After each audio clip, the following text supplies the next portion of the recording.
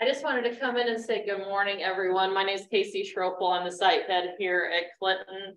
I've been with Elanco since two thousand four, and I actually ran environmental quality for almost three years here at this plant site, so I might know some of your faces, but I, I just wanted to come in. I had some time this morning. I just wanted to welcome all of you. We're super excited to be able to host all of you here at, at our site and our facility. If there's anything you need throughout the day, you're in great hands with, with John and my HSC team. But if you do need anything, feel free to reach out. Again, Casey Schropel and, and welcome. I hope you have a great day. Thanks, Casey. How you? Okay, we cleared you up, I guess. Yeah. Okay. I came the wrong way. Good morning, everyone. Thank you for being here. I know for some people that was a long time. Hopefully people like Rhonda and Kevin, they actually spent the, came out yesterday, you know, the night before. No, you drove up. Being an hour behind and that, it was a long drive, wasn't it? So we really appreciate everybody being here at the quarterly meeting and, and really want to thank Elanco for hosting this. Uh, you know, great. We had one in, in December. We did have one at, at Toyota uh, material handling. Uh, we've got this one, and then uh, Teresa will go over some of it in the agenda. Uh, we did. Uh, we have our annual retreat in January of every year. Uh, we didn't do a very good job uh, with the elections of our retreat. Uh, as of February 1st, uh, Teresa has now taken over the executive director's position for the park.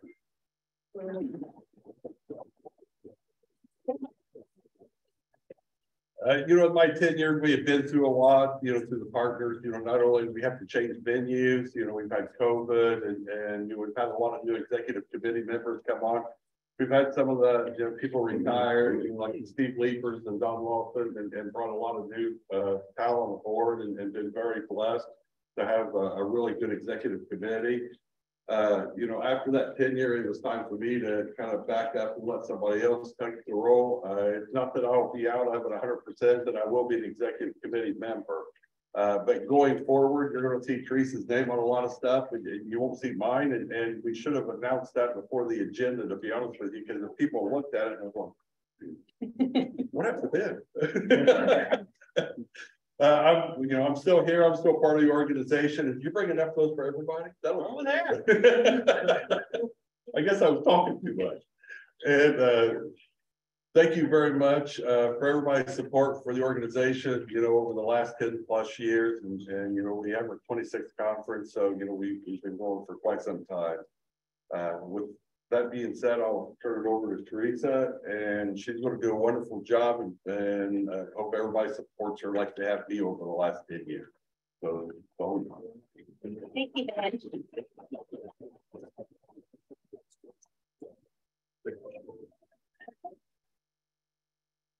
Everybody live, are they live on Zoom? They are. See everybody? Great. Well, welcome everybody. Glad everybody uh, made it out. It was a beautiful drive, nice sky. I'm excited about the things that we'll get to talk about today.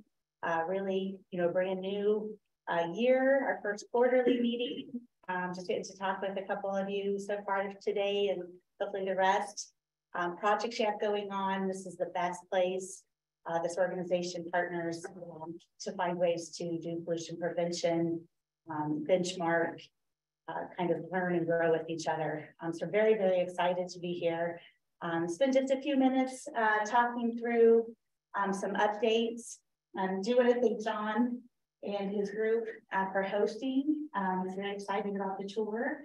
Um, it's been wonderful so far. This um, bit in, uh, very nice.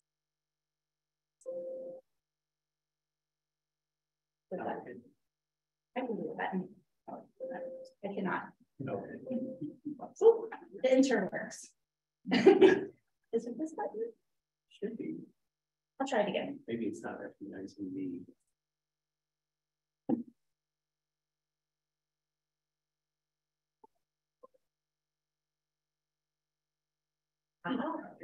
Wonderful, wonderful. I'm gonna move because I can't see see everybody. Okay, so um, all right. It's the world of Zoom and electronics, right? All right, so we do appreciate you guys hosting. Um, this will be a wonderful quarterly and uh tour. Thank you. Um, so like uh. Ben said, I'm the executive director. Appreciate uh everybody having faith in me to do this. I'm excited what we're gonna get to do in the new changes. Um, Assistant Director Ron Rothberger, uh, he is uh, not here today, uh, but you will see him uh, a lot. Uh, other events and uh, messages from him. And the treasurer, Chris McKenna. Um, the other, the rest of the executive committee, we have a number here and several online. Um, would you mind standing just so we can recognize for a moment? This is the, the team behind the scenes. We all work together between IDEM um, and uh, different members from uh, industry and companies in Indiana uh, to put together the quarterly, the outreach, the conference that we'll get to do in September. Uh, so very, a lot of good work. so currently we have uh, 99 current members. Um, if you're interested, the exact details on those are webpage. Uh, you can go to uh, to see. Uh, we are very interested uh, to grow our membership, have more partners. Um, there's industries we have don't even have on our group uh, yet. So we do have a lot of uh, different industries for that, but uh, looking to have more um, and, and, do more outreach. Um, if you're not a member yet, that you've uh, joined today, um, you are welcome to be a member. There, again, the web page where you can see anybody that stood up, myself, um, and ask for help with that. Um, we'd be happy to show you the way there. Uh, so it's free and it's voluntary. There's no mandate. It's not a regulatory. Um, you just must commit to the partners uh, pledge to be inducted. Um, and this would be the time in the quarterly where we would talk about inductees uh, for that. Um, you do, however, have to be contingent on good standing. So your compliance record uh, needs to be in good standing. Um, if you have questions on that, uh, you can ask the group or our CTAP members. Uh, we can kind of work through there um, on giving that. Uh, the end goal is to have companies that are members, right? So we're all working together for pollution prevention in Indiana. Um, and then the stipulation other than that is each partner is required to complete um, an annual recertification uh, to retain your membership. So we're very heavy in that annual. Um, it's due here soon in a few weeks. Uh, so hopefully everybody's been uh, working on that so far. Um, so we have uh, some new uh, things for our partnership, trying to do more social media. It's the new way. Uh, so the LinkedIn group, we've had a LinkedIn uh, page. We have a subcommittee that manages that. Please uh, add that if you are on LinkedIn. You can see updates, you can make comments, um, share your stories, uh, whatever works there. Um, and then also we've just started a Twitter, and that is the um, information to get to that one too. So that one's a little newer um, and would like if uh, you have a moment uh, to add something to either or both of those today, um, if you're able to do that. So you also can help us grow um, and invite your business uh, colleagues. Um, I met a number of uh, new people that said that today's their first time to a quarterly meeting. We're very happy to have you. Um, and, or other companies that you work with. So um, like a waste provider, you have, you know, different consultants. Um, it's a very good way. Uh, we're all like-minded in pollution prevention. And you can also help uh, distributing some of the partners materials at conferences um, or um, we have some brochures and things. I think Jean has those at the table out in the front. Um, if you didn't have time to look through those, feel free to do that on break, uh, lunch, or afterward. So we do have our scheduled uh, June uh, quarterly meeting. We'll be at the Caterpillar Lafayette, um, June 21st. Of course, our conference is September 20th. Um, we'll have it at the Marriott Keystone again. It's been a very well attended conference and we look to see everybody there. They're still looking and uh, to have a host for the December quarterly. Um, so this is another opportunity if your company, if you would like to um, host. Uh, we can help do all kinds of setup and things for you. It's it's a good thing to do, um, a very good benchmarking. So you think it's a maybe, doesn't have to be a yes today, a maybe, uh, let me or somebody on the committee know. Um, and then we can talk through more details to see if that's a fit. All right, so some more save the dates. Um, so ESP and partners, so um, Environmental Stewardship Program is the ESP. We do partner with um, them as well. Those uh, performance reviews are April 1st. It's not an April Fool's joke. It really is due April 1st. Um, so there, those were delivered. Uh, so if you are one or both or um, of those members um, to turn those in, uh, we do use and look at that data um, as some of our um, marketing, some of our information we put together and whatnot. So uh, we do like to use that data for it. So timely is much appreciated. Your partners member only, um, which is still fantastic. Um, it is due June 1st. So you have a little bit more time um, on that and the same deal, we do use that data. so wanted to thanks again. Thank you, Ben. Um, thank you, Elanco, uh, for having us. And um, I appreciate it.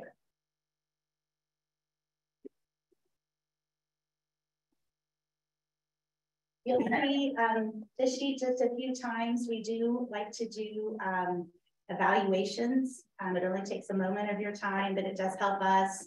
There's something you very strongly feel either into the spectrum, very good. I'd like to see. Um, this will be shown multiple times through the day uh, for the QR code, um, if you wouldn't mind to do that. Appreciate it. Think I'm going to get right into the presentation. They introduce Lucas Krupp, who is our process engineering manager, and he's going to give you an overview of basically everything we do here on site. Thanks, John. I clear my throat and take a lot of sips of water, I apologize. Um, getting over one of the most recent bugs going around that my kiddo caught from daycare. So, I don't know if anybody else is familiar with that. So uh, I like to start off by asking, has anybody by any chance ever been to our site before and know anything about Elanco? Got two. Hey, that's better than none. But we'll go into some some high level slides just overall the company and then more specifically into the site, um, which you guys I believe will be going on a tour later today of. Um, and who's taking them on that tour, John? Helping back. Okay, so you guys are splitting it up into two groups. Okay, good. You got two great tour guides then. But so as John said, uh, my name is Lucas Krupp. Um, I'm a process engineering manager here on site. Um, a lot of the frontline engineering support staff that troubleshoot the processes I'm going to talk about report to me. I've been with the company about five years. Um, I served as uh, a frontline engineer for about three years prior to a couple other roles to then where I'm at now. So um, I'll have questions held until the end, and then I know, I believe you guys said we're a little bit ahead of schedule. So if we want to do questions in between your presentation and mine, that's fine as well. Um, just if the scope is different of them, I'm, I'm okay with that as well. Um, so getting into it, so Elanco overall, we're an animal pharmaceutical company. Um, so we have a lot of sites all around the world and a lot of different initiatives. So at a high level, we have our statement of making life better for animal makes life better basically for everyone else around the world as well. That's from multiple aspects. So we work with veterinarians, we work with farmers, we work you know, over the counter, some of our medications you can find at PetSmart or, or similar stores. Uh, so that is essentially fighting not only malnutrition to make sure that we can get good protein supply around the world um, on our farm animal side of the business and combat diseases, especially coccidiosis is one of the big ones for us. Um, but also to be able to provide that companionship for mental health uh, for those uh, dogs and cats and, and those kind of animals for whether it's flea and tick to, you know, heartworm or whatever other diseases that we're developing and, and trying to prevent. Uh, so we also have, not here on our site, we do a, a vaccine side of our business as well um, at some of our other sites domestically and around the globe. Um, those are for a variety of things on the farm animal side, even all the way to aquatic, um, where we do have a vaccine that actually gets injected into salmon at one of our sites out of Canada. So that's just a little tidbit I like to provide because it's a very weird picture um, that I had when I first started here. Of, Wait, you're actually vaccinating fish. Um, So again, you won't see that here today, but we do do that at um, one of our sites that's in Canada, so. So specifically here for Elanco Clinton Labs, uh, so we sit on about six hundred forty acres overall. Um, two hundred acres of that is actually more established production area where we have development. Whereas the rest of that, which I'm sure John will get into, um, is more in terms of the conservation as well as just area that we do not have development on. So we do have about three hundred eighty to four hundred employees on a, a four shift schedule for our operations staff on the floor. Uh, so four 12 hour shifts that rotate end of the week and will rotate days and nights as well. About sixty buildings overall, and we opened all the way back in nineteen seventy. Uh, the facility at its very beginning was designed for penicillin production. Um, that never actually occurred before it got converted. We were a part of Eli Lilly and Company up until twenty eighteen, uh, when we spun off as our own company. Um, so this site actually up until I think the early nineties was split between human pharma and animal pharma. So in the nineties, that closed down, so the penicillin production was no longer active. And we converted strictly only to animal health business here. So again, I stated a little bit, we do have different focuses. So we have the food animal side, which you can see, uh, you can see the fish there that I mentioned from one of other sites. We produce products here on site that are used for ruminants, uh, swine, as well as poultry, um, as well as for the companion animals, dogs and cats especially.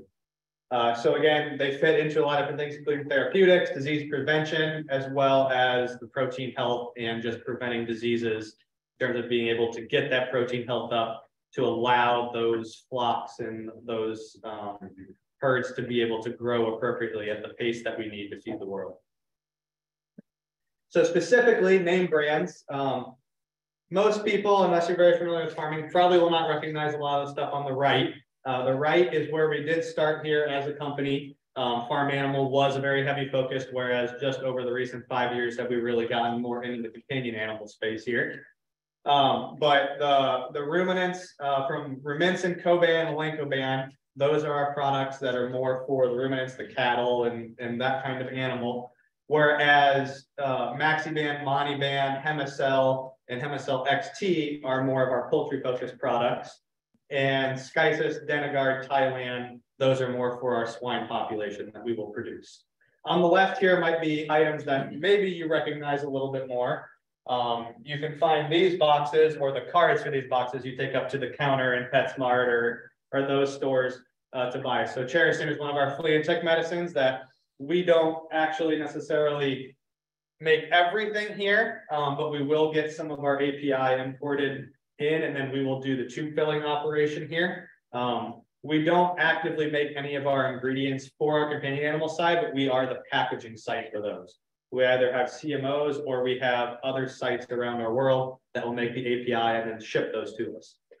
But on the right-hand side of the screen for you guys is the farm animal side of the business where we have start to finish between our site and our smaller ancillary site down in Terre Haute where we start from a, a cell vial and we will actually inoculate and grow that up into a fermenter, recover that material, and then finish that material and package it into a bag or a tote bag or whatever appropriate measure for our customer.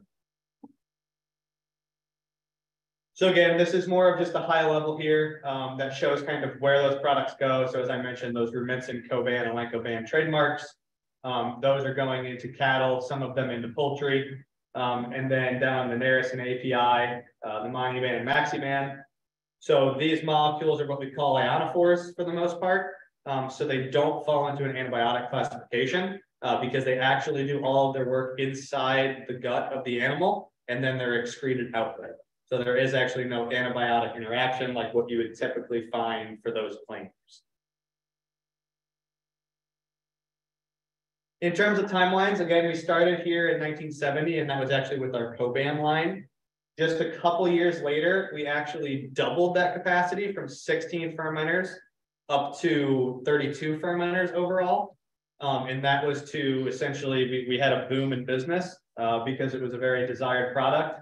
In the nineteen eighties, we started up that Tylosin process here, followed by right around nineteen ninety of our Narasin molecule. Um, then that was kind of our consistent product stream for a while here. And then our R and D uh pipeline kind of developed close to, you know, twenty ten type range there. Uh, where we actually brought Hemicell online, um, which is actually an enzymatic activity that couples with some of our products. Uh, to also help further fight coccidiosis combined with Enteris. So we did add two additional fermenters again for more capacity because we continued our product stream growth um, in the mid 2015 timeframe. We are governed by the FDA here, a division of the FDA known as the CVM, the Center for Veterinary Medicine. Um, so we are held to the same standards as other pharmaceutical production. So we have the same kind of regulations that we have to follow in terms of our quality um, that you would find at a full-scale pharmaceutical plant as well. So you can see there's different kind of clauses and areas that those fall under. I'm not going to go into detail on those. Um, but you can see we actually from start to finish, we ferment our narasin and nisin molecules, which get finished into the products listed there. We will recover those. You won't actively see that recovery building on your tour today uh, because we actually do recover that material um, with uh, an alcohol that we use below its flash point technically. So there's extra safety precautions to be able to enter that area. Um, and quite frankly, I don't think any of you want to get hit with that smell quite possibly either. Um, and then that will get finished uh, in our in our final building uh, where we'll granulate it and package it in the final, which I'll go into more detail here. We do have for our tylosin molecule, we don't ferment it here. We use a contract manufacturer. And then we actually utilize our small enzyme fermentation facility down in Terre Haute, just about 30 minutes south of here um, for that Hemicell product line, which is more on the enzyme side. So that's core, and you'll you'll um, walk through this building today, um, which I think gives you an idea of the scale of it. Um, is our fermentation process is it, unless somebody has changed it, I believe we're still the second largest fermentation process domestically outside of Anheuser-Busch in St. Louis. Um, so when I mentioned we have now 34 full-scale fermenters on our plant site, each of those final fermenters, um, which is the final step there, is about 200,000 liters each, so about 50,000 gallons each. So where we start that process is it actually comes, we have a state-of-the-art cell bank in Indianapolis called Building 82. Uh, we have uh, research and development folks that will do uh, classical mutations on those strains to improve productivity from what we can get out of a fermenter. We will actually inoculate those into a shaker flask in a quality control lab. And then we will take what we lovingly call a bazooka, uh, which is just a sterile transfer tank, a small one to take that shaker flask culture and move it out to our production floor into a bump tank, which is about a tenth of the size of our full fermenter, so only about 5,000 gallons. And then once that grows and we monitor it for sterility and potency and the correct amount of growth, we'll then transfer that into our full vessel and monitor the slew of critical parameters to ensure that we're uh, we're growing the proper way and excreting everything the way that we need to excrete. Then we'll step over into our recovery process. Um, so we'll harvest that material and then we'll actually stop that cell growth process with that alcohol I mentioned of why we can't enter this area today on your tour. Uh, so we'll stop that cell growth process and then we'll recover that material. Well, that broth that's being put into our recovery process is about 80% water. Well, we can't do anything with that. So we have to send it through an evaporator first. After we evaporate the majority of the moisture off, it's going to be our crude intermediate, and we'll actually send it through a centrifuge. And yeah, Drew has uh, one of the things that we lovingly call bazooka right there. So, uh, so we'll actually transfer that uh, into our centrifuge area. And so that broth, which I'll pass around here, um, that's coming out of our fermentation process will look more like this. So it's pretty much 80% water. There's a lot of solids in here, but for right now, they're still pretty much dissolved or just really not visible and kind of a slurry. So then once we send it through the centrifuge and we recover the stream that we want, uh, we'll send it into a mixer and combine it with uh, a diluent. And that diluent will essentially change it so then this will be more of the product that looks like what we're getting out of it after we send it through our dryer step. And we send it to the dryer step so we can make sure we evaporate off any other moisture we need while making sure our product is the right potency. Then we will change from doing more of a pumping mechanism and we'll actually start pneumatically conveying. So now we get into more of our dust collection systems and moving, moving particulate uh, just via vacuum. And that will come over to our final granulation and finishing area uh, where we'll have some storage silos initially, but then we'll actually do what's a little bit backwards for uh, some people that are familiar with feed mills and, and that kind of uh, mode of action is we'll actually take that powder that I just showed, that Monensin dryer powder, and we're actually going to compress it into a pellet. So we compress it into a pellet for a couple of reasons, and that's so we can make sure we have a homogeneous grind uh, afterwards, so we can particle size it and we can forward process it to get accurate dosing as well as making sure that we have the least amount of airborne particles to our final customers. But we'll take those pellets and then we'll recrush it. So typically your pellet mill in terms of the feed mill industry, which a lot of our customers are familiar with, is the final step because then once you get them into a pellet form, sometimes those pellets are even sent out for the feed in certain scenarios as opposed to crushing them again. We'll send them through a series of crushing and then screener steps. And we try to minimize any waste streams that we have. So the majority of the spots on our plant site, we have recycle loops. So if we have a crush that gives us an overs particle that's too big to forward process, or something that's too small and too fine, we actually have ways to reconstitute that back into the process instead of having to throw it away as waste. Then it will go to one of two areas, depending on your product for final formulation and final blending. And again, that's more for homogeneity's sake to make sure the product is safe uh, both from a dosing perspective as well from a particulate perspective. Before it will then be finished. So it will then be combined uh, to get dosed down to the correct potency uh, by mixing with whatever diluents that uh, we need or whatever the customer has in terms of the specs. And then we'll send that through a mixer, a final screener, and then we'll actually bag out the majority of our products in a 25 kilogram bag um, which when they're leaving our site, they're actually considered a type A medicated article. Um, typically before it's fed to the animal, it's diluted all the way down to a type C medicated article. So the interesting tidbit I like to give here is whenever you look at a 25 kilogram bag that you guys will see out there on a tour in one of our buildings, a sugar packet size is about what a single cow needs in a day or for every single time they feed. So when you see the sheer volume out there, it gives you a scale of just how large of an impact and how many head of cattle that we're actually able to feed and improve that protein source for the world. Our, our other product, not in this same mainstream, but I mentioned we have a contract manufacturer do, uh, the Tylosin process, we get that liquid API in from them. And then we'll actually combine it and extrude almost like a noodle type consistency before we will grind that down and then send that out for finishing at another contract manufacturer. Again, that's one of our products for swine. You'll be able to see this process today, but it'll just be from a very high level kind of in passing.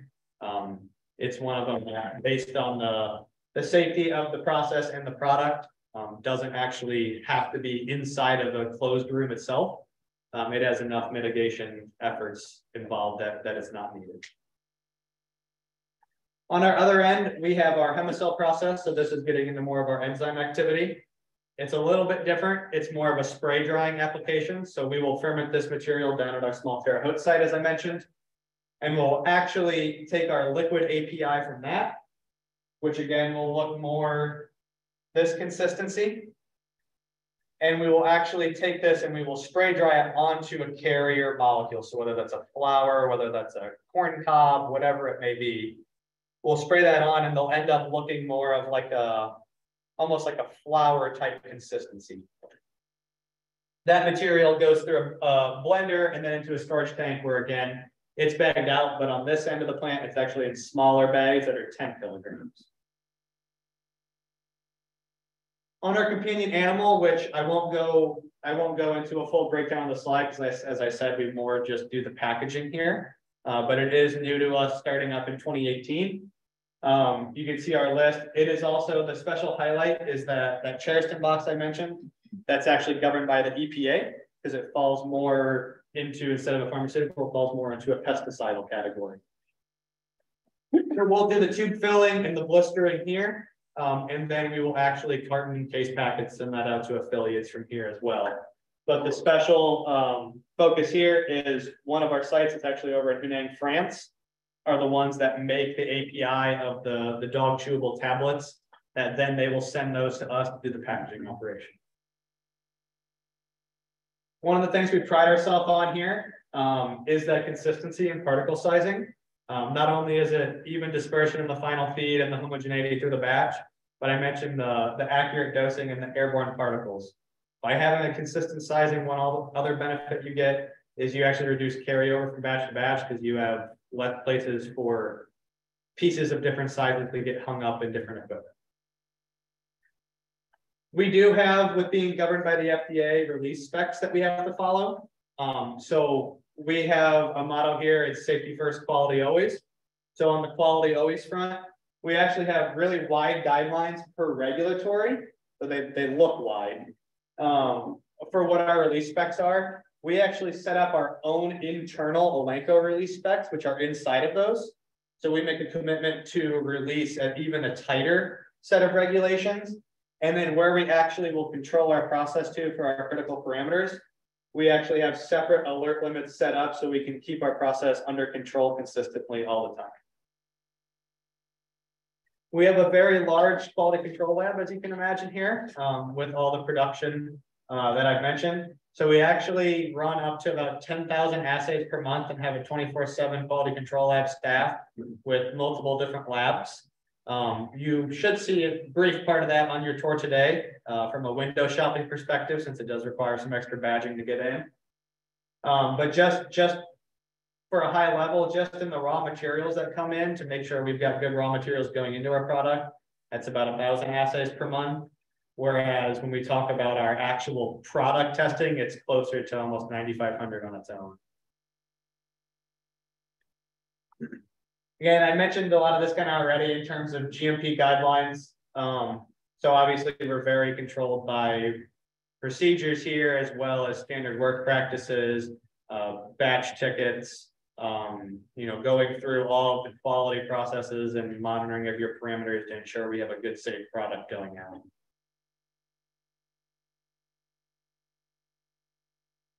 And I'm not gonna regurgitate the same information because I talked on one slide on it. So that is all I've got. So I'm fine opening up the questions unless.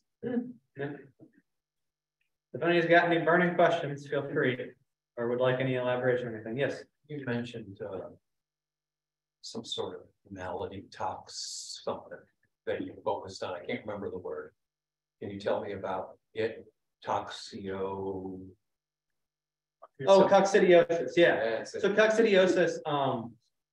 Most people, the most familiar, uh, are gonna be in the poultry industry. Um, so it's actually, um.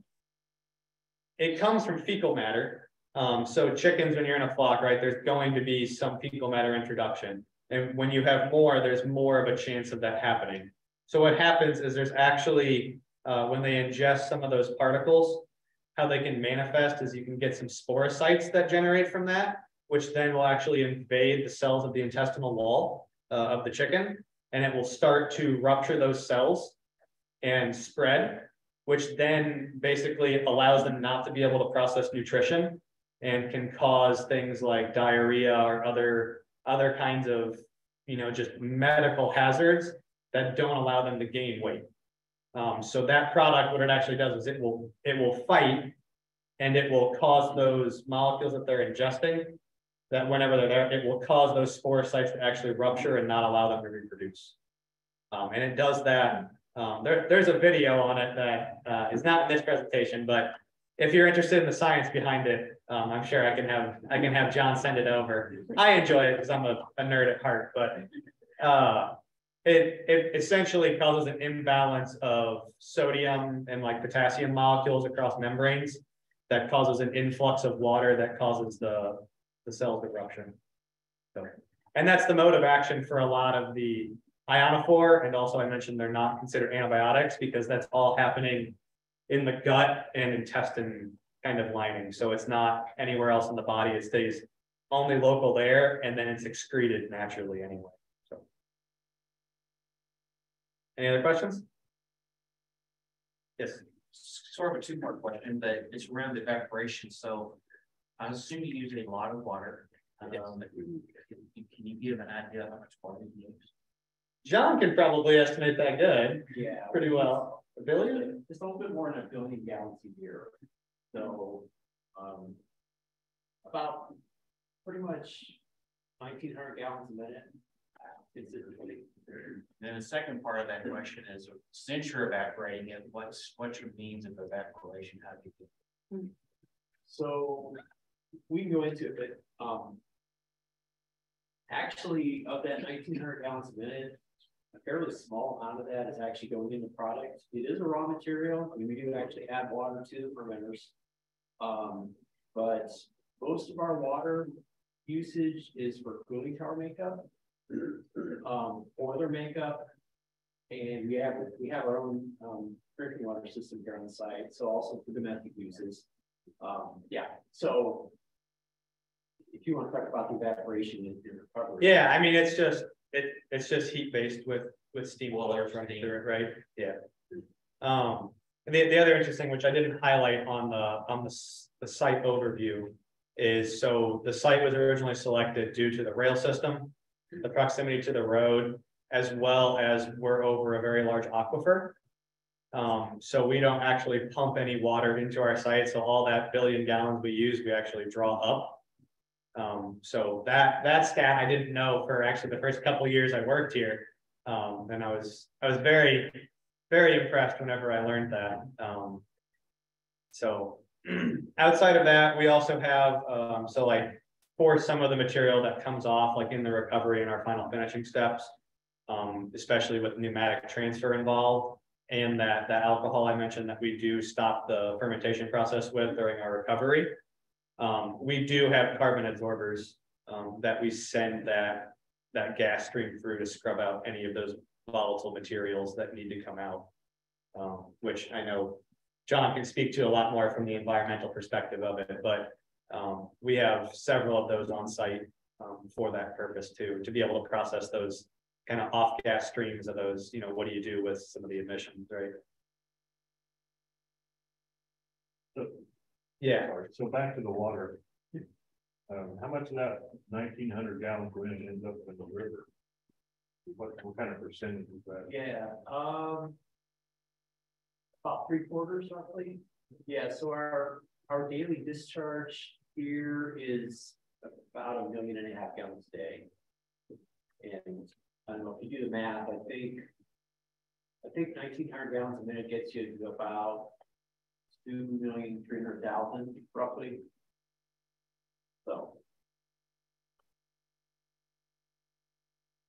and on that discharge, we have several, several checkpoints of Oh, yeah. effluent stream, yeah, right? we do have a. We, we got a, uh, permit for the state for, uh, an FS permit, a national pollution for. The pollution, don't, uh, uh, discharge elimination. Plus, plus, uh, and besides that, uh, we actually operate an internal wastewater treatment plant for And, and some of the problems. So the question about the evaporation, the bottoms off of that, that contain water, um, are actually processed by our wastewater treatment. plant. You try to recycle any of your water at all, or oh, that's not worth it? Um, we're working on something right now. Uh. the Initial request to, to the, um. Uh, office water quality, and now. It's fun to bring that up. We, the purity of our wastewater treatment plant water, because of it, so, um. Membrane filtration, bioreactor and membrane filtration. And the dissolved solids in it are actually lower than the dissolved solids in the well water we pull in. And so we're looking to use that at a cooling tower. And we're pretty close to getting that done. Run into some pearls. For, for, yeah. Probably one of the next projects. And then there's a whole bunch of other, like, I mean, a lot of things used to be on one, one through cooling water, like straight well water of the ground at fifty degrees, fifty-five degrees, we put a cooling tower instead. Sort of recycling that water through the tower. And we are returning a lot more steam condensate than we ever have in the past. And a lot of that was just, you know, it's pretty easy just to dump it and not bother. So we put the condensate collection stuff back, back in service and. And we're recovering the water and the heat also, so. We do have one question from an online participant. How do these products affect manure composition quality from treated animals? And do they present concerns for surface water pollution via runoff? I'll have to defer to John on that one, or we'll have to defer to one of our, our sales reps and get an answer back to you guys on that front, because. Once it leaves the site is where it leaves my, my knowledge on that front. So I, I won't speak to something I don't know, but John, John may have more. info. Yeah, I can speak to it a little bit. So to the aquifers themselves, um. You do break down in nature, um. One other, one other waste stream that our, that our wastewater here on site takes. be- Because of the nature of all these fermenters and, and. Ferment a batch, and in between each batch, we have to have, um, so batch to batch, what's the word I'm looking for? Whether it's Oh, the turnaround? yeah, the turnaround, but if there's sterility in between the Yeah. batch. and- So you- you're not allowed, not allowed to use the same piece of equipment and leave it contaminated with the previous batch. So it's, it's gotta be completely clean and sterilized. So we do generate a fair amount of wastewater from that process because that, each of these fermenters, which are fairly large, have to be completely cleaned out on the inside and then sterilized with a caustic soda solution. Um, we have a permit from IDEM to actually landfill those wastewaters because some of the residual that's in the fermenter has um, nitrogen, potassium, and phosphorus in it, which is you know, brick fertilizer. so we have pretty extensively studied the ionophore degra- degradation in the ground around our own, you know, our own plant on the farm fields we apply it on. And we understand that. Um, feedlots, obviously, there are other issues if, if they become very large. Um, a lot of those have, you know, it's pretty much on a state to state basis to regulate that sort of thing. Um,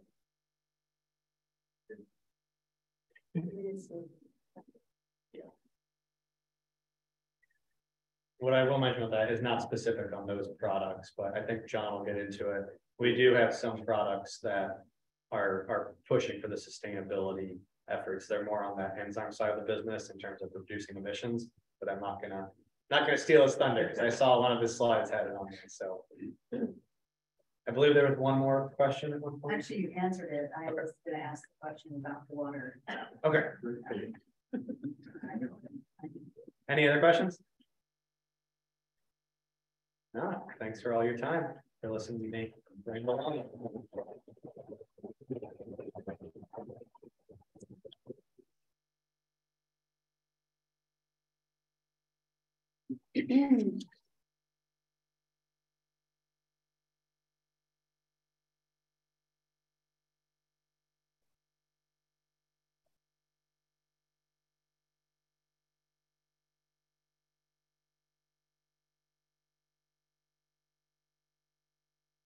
não,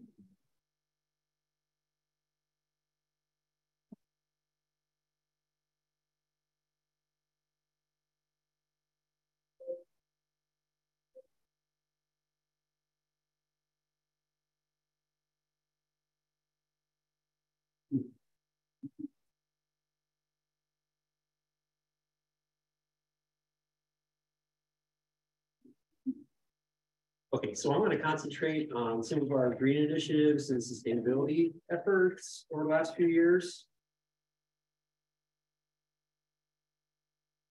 Here we go.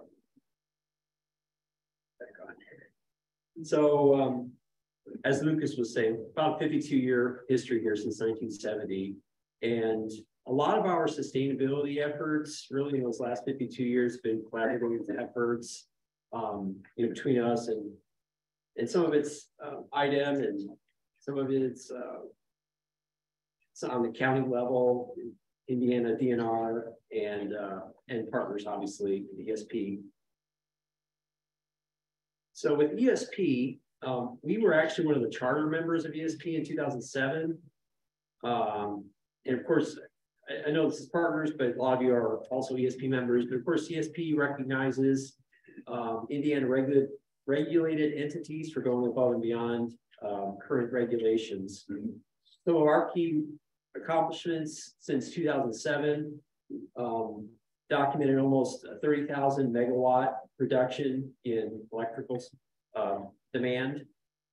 Uh, five thousand pounds per year reduction in phosphorus discharge. And, uh, um, three thousand pounds per year reduction in refrigerant losses. That we've, um, put programs in to be tighter on our, our chillers. And so here's that question about water. Um, so our site as, um, as recent as two thousand eight was actually using about two point three billion gallons of water a year. And we've made some pretty significant reductions since then. Um, that two point three billion is actually over four thousand gallons a minute. If you do the math. And so we've, we've reduced from four thousand gallons a minute down to about nineteen hundred gallons a minute. You can kind of see our progress there at the bottom of this chart. And I don't think I have a slide that goes specifically into this. I think I gave a presentation a couple years ago at a partners meeting um, about some of those initiatives. And a lot of that has been things like uh, better process control and cooling towers, uh, where we're tightening, we're, we're tightening up on the chemistry control. So we, we can cycle the towers up more. So we're using less chemical, which is good. Plus we're also um, blowing down less water. So you kind of get both benefits there. Um, some of the things I was talking about, the condensate return, some of these systems that we took off of once, once through well water cooling and put on a cooling tower. So that water was going through a heat exchanger once and then being discharged, you know, basically directly to storm sewers, non-contact water. But now we put in our cooling tower, so we're not having to have that flow through that piece of equipment. So a lot of things like that. Um, also, some significant partnerships with DNR. Um, I think the next slide, you'll see this, but we did a floodplain restoration project um, in the late 2000s. And there's a wetlands area just east of the site between us and the, in Wabash River. Um, that some of that property was actually deeded over to the Healthy Rivers Initiative in 2011, uh, 308 acres. And we continued to farm part of that, but a large part of that was actually a wetland restoration area. And there's a 50 trees display in part of that area. And then we've also done some other plantings. And as recent as 2020, we had a couple guys out here from uh, DNR looking for this little frog here, this uh, plains leopard frog, which was an endangered species, which they were able to find some, which is pretty interesting. Uh, if you ever go out with those guys, it's pretty fun because they do most of their work at night after dark. so here they are crawling around in this wetlands with hip waders on and, and flashlights. And they can actually, um, they're pretty good at picking out the different sounds of all the different frogs. And, you know, they can tell you, oh, that's a plane, you know, that's this kind of frog or that's this sort of frog. Um, and when they heard when they heard one chirping or whatever the technical term is for whatever frog makes that is, then they they'll get up close to it and then they'll kind of get the spotlights out and they'll start looking for it. And they're looking for like photographic evidence that this isn't a picture of a, an actual frog we found here, but but they did actually find some some frogs. So this is the, an overview of the site, and this this kind of shows you the area that's in the Healthy Rivers, that's east of us. Um, and, and by the way, here with the uh, with the river being up like it is, uh, a good portion of that's actually flooded right now. But the water will recede, and by summer we should be able to put a crop in there. So we also um, partner quite a bit, like I was talking about, you know, floods and things like that with uh, Vermillion County. And we're pretty active on their soil, soil and water conservation district. Um, as far as trying to attend the meetings, and of course, whenever you apply for um, construction permits under stormwater plan, you have you have to work with your local uh, water conservation district to, to get those reviewed, which, which we've gone through that a couple, couple times in some of our projects. Partners, obviously, um, you guys all know what that's about. So we were actually formerly a member, technically through Lilly, through two thousand eighteen. And then, um, actually just in June of twenty twenty-one, joined as our own site. Other initiatives, so. Um, I don't know if you noticed when you pulled into the parking lot that some of you might be able to see through the windows. There's kind of a strip along the highway that looks a little brown. Well, this is actually a, a native tree and prairie habitat that we've reestablished. And um, this is one of those water saving things also. We were watering all that grass. And um, so we don't have to water it anymore because we planted things there that it, they're pretty much drought resistant. And, and the trees kind of take care of themselves. Uh, we actually hired a company out of Indianapolis. Can't remember the name of the company now. Do you remember those? Cardinal, Cart, yeah, Cart, Carlo? Cardinal. Cardno, yes, I think they've changed their name, but if you do a search on Cardno, let's hook them up. And so they're, they, they're a professional, um, I think they have quite a few different aspects to their business. One of the things that they do is they will come in and help you put in an area like this if you're interested. Um, you know, they make all the recommendations on how to prepare the area. And then they'll professionally source the seeds, bring their own people out, plant all that stuff for you. And then if you enter into the right contractual uh, agreement with them, they'll actually help you maintain this too, because it's kind of hard to keep one of these things going. So three or four years, they'll come out and they'll try to, they'll do some um, invasive species removal and that sort of thing for you. But this is the area I'm talking about. It's that whole strip. So just a little bit more than three and a half acres. And when you do the math, I mean, we didn't have flow meters. We didn't have a flow meter on the sprinkler system to that, but we do have a professional lawn service that, that helps us with keeping the grass cut. And they also oversee all the sprinkler systems. And, and I know that they were following this kind of two inches per week kind of guideline just to keep the grass looking good. And you start figuring out how much, you know, two inches of water per week ends up being during the growing season. And it's, it's well over 5 million gallons a year. So this is a series of photographs. It looked a little rough when it first started, but it does green up pretty nice in the summer.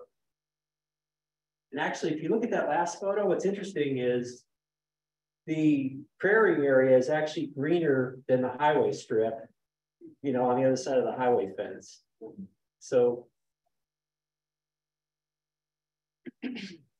I think this is my last slide, but just as some other, just an overview of some other green initiatives.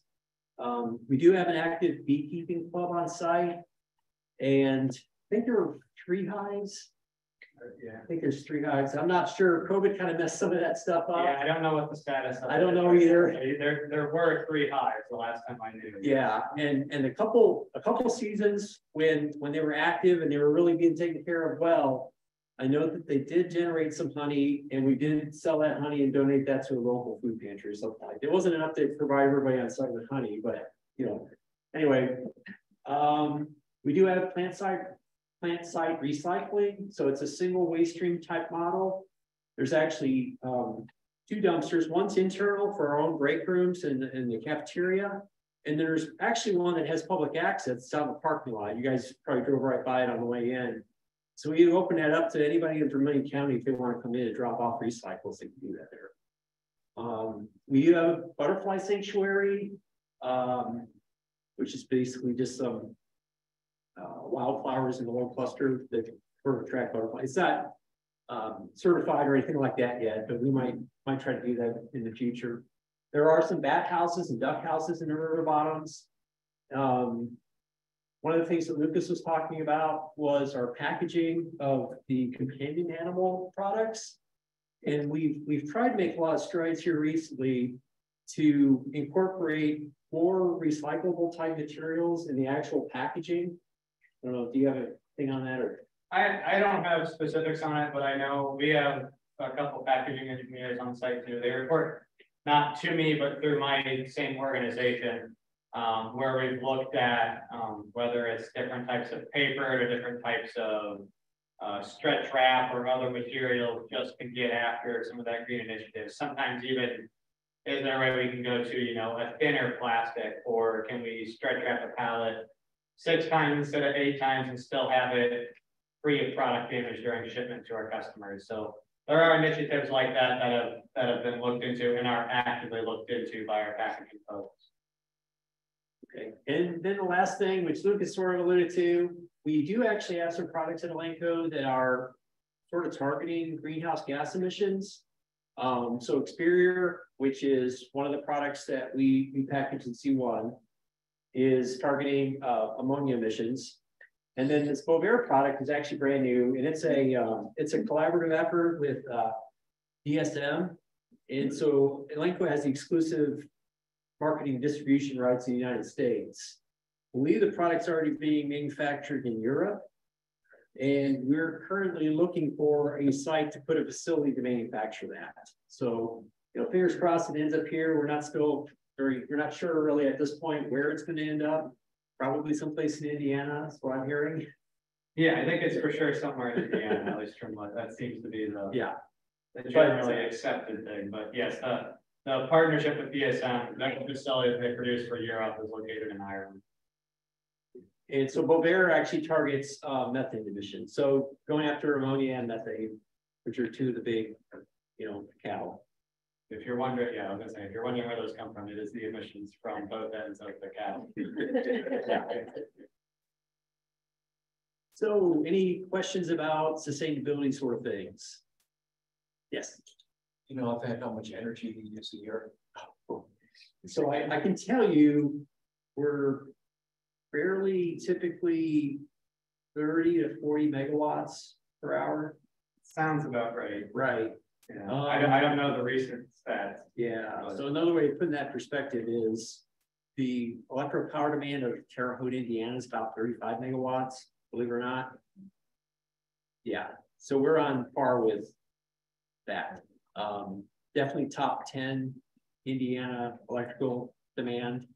Um, you know, right up there with some of the, um, some of the steel mini mills, Pittsboro, that sort of thing. And, uh, I wonder, you would think of, um. Well, it used to be Alcoa, but whoever it is now in, in uh, Lafayette. The aluminum plant there. I would think that they would have a fairly large electrical demand also, but anyway, it, it is fairly, fairly large. Yeah, so, And how many employees work here during the regular day shift? So we've got, in terms of employees as a whole, we've got about four hundred. Um, four hundred or so, so when you think about the split between, you're, you're talking normally about hundred people, Elanco employees specific. That are like here for like twelve hour shifts. So like in terms of like a rotation, but you'll, it'll seem like a lot more than that.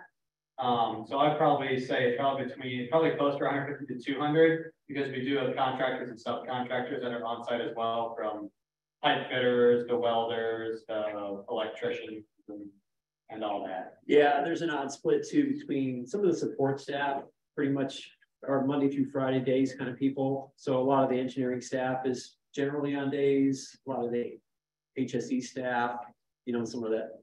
So it does kind of skew the number a little bit heavy on days, but I, I would say operations core, the people running the plant. I would probably say you've probably got about a hundred on shift at a time, mm-hmm. if I'm doing a rough total in my head. probably about right. So a little bit less on night shift, right, because you're gonna run with a little bit less of a crew, because your, your big change, your support staff aren't necessarily gonna be there, right? So you don't have as much interaction that's needed on that front, so. And finally, how many HSE folks do you have? Six. I don't know what they ask. Oh, yeah, okay, I guess, right, right, I was, I wasn't including all the health and safety folks I was thinking about. Um. Yeah, about roughly eight or nine. It, there's, so there's a couple of our, of our people are sort of, um, split between this site and Terre Haute. Kind of half time. Um, But we have one that's about to retire, who is kind of went out to corporate. So, yeah. We have, I, I mentioned that, the, you know, our motto, safety first, quality always. So one of the things we do, so with operations as well as combined with what we call process teams, so that'd be more of the, the support staff, right? We do have in all of our operations areas, as well as a lot of our functional areas on a regular monthly cadence, uh, department safety teams. Uh, where topics are brought in, representatives attend, and you work through problem solving and updates and focusing on topics of the month or, you know, prevention of something that you see coming up. Um, so it's not just a responsibility of just the HSE group. We've actually got it spread very well throughout the board. The smaller HSE group is more just, you know, the main points of, the main points of contact and really driving some of those bigger efforts through, right? Sub- subject matter experts and, and reporting, so doing actual reporting requirements, that sort of thing. Yeah, I'm not even including, the departmental safety teams. Probably each of the major departments has at least one full-time member and probably two people supporting them on shifts, or maybe one per shift, depending upon how big your organization is, and a few more. Yeah, Typically, the, the one I attended as a frontline engineering, I, I was in one of the buildings that had a little more manual interaction, so we had a little bit higher of an operations force staff, but our typical department safety team meeting that we had monthly had ten to fifteen attendees regularly total. Yeah, good involvement. Hey, does the plant not site recycling, does that include like the packaging materials that have come in with, uh, materials coming in and out of the facility? Is that, is that, and how is that treated? So as much as we can. So if it, if it's coming in like in a cardboard box or whatever, those are broken down. Um, some of the, some of the incoming packaging that actually is shrink wrap, we're able to recycle the shrink wrap on it too. So our site's so large, um, and you'll notice on, on the tour, a lot of our materials come in in rail cars. So, you know, that's. Comes in a rail car, rail car leaves empty. Um, there's also a lot that comes in in, in truck form, tanker trucks, you know, which. Um, some of our, yeah, We'll try and do, so like, some of our raw materials that will come in, they'll come in their own type of packaging. So we'll try to recycle or, you know, responsibly, you know, dispose of what we can. But a lot of materials, the containers that come in because they are contaminated with that product. Um, due to the safety from that product and similar. Typically don't qualify for some of those recycling initiatives all the time. Where we can, we will, like, you know, use pallets and, and all that, right? But like, if we're talking about, say, a bag of an API we get in from a contract manufacturer, we typically still have to dispose that bag because it is contaminated with that product, and there's no way to scrub that material off of there. Because it just, it was shipped overseas to us, so there's, there's no way to clean those ones, but where we can do. Now, what we do, what we will do though is generally like, like the, the dog chews, that sort of thing. So that's coming in bulk packed in a, in a plastic bag. That's overwrapped in a, either a plastic or a steel bucket. And those buckets can be either recycled or reused. We, we do try to do that. So, yes, Did you say that your recycling is open to the public? yes, the, the uh, the dumpster that's out in the parking lot, the public does have access to that. Does the city or county help you with the collection and processing of that? No, we, we bear all that cost ourselves, right? Yes. Do you have any published sustainability goals for like the five, 10 year um outlook? Um, so Lakewood does have a website and there is a sustainability section on that. Honestly, I've not looked at it for a while. I, I know that there are some basic sustainability goals and the corporation within the last couple of years has hired a, um, a sustainability manager and there are, he does have staff. So there are people involved with that effort now. There, there's a whole segment, I, I'm not gonna get into the detail because I don't know if I could regurgitate them accurately. But we do actually have, um, an engineering like focused project on like green energy initiative as well. Um, for this site, but also for the broader organization too, um, for more of a central management, but I'm sure either John or I could find the. The, the link to where you could get the official statements, but Right. I don't know them off the top of my head, so. Yes. So back to your public recycling bin out here, a, a lot of those kind of facilities have been plagued with. Drop off of stuff that you shouldn't be dropping off there, so I wonder how bad that was, and how you deal with that, or. Maybe you've got to figure out a way to keep that from happening. Well, Patrick's here. Actually, ours has been pretty good, but Yeah, we haven't had any. Major. Nobody dropping mattresses and. I mean, always, and also it's right in front of our. security. That's, yeah.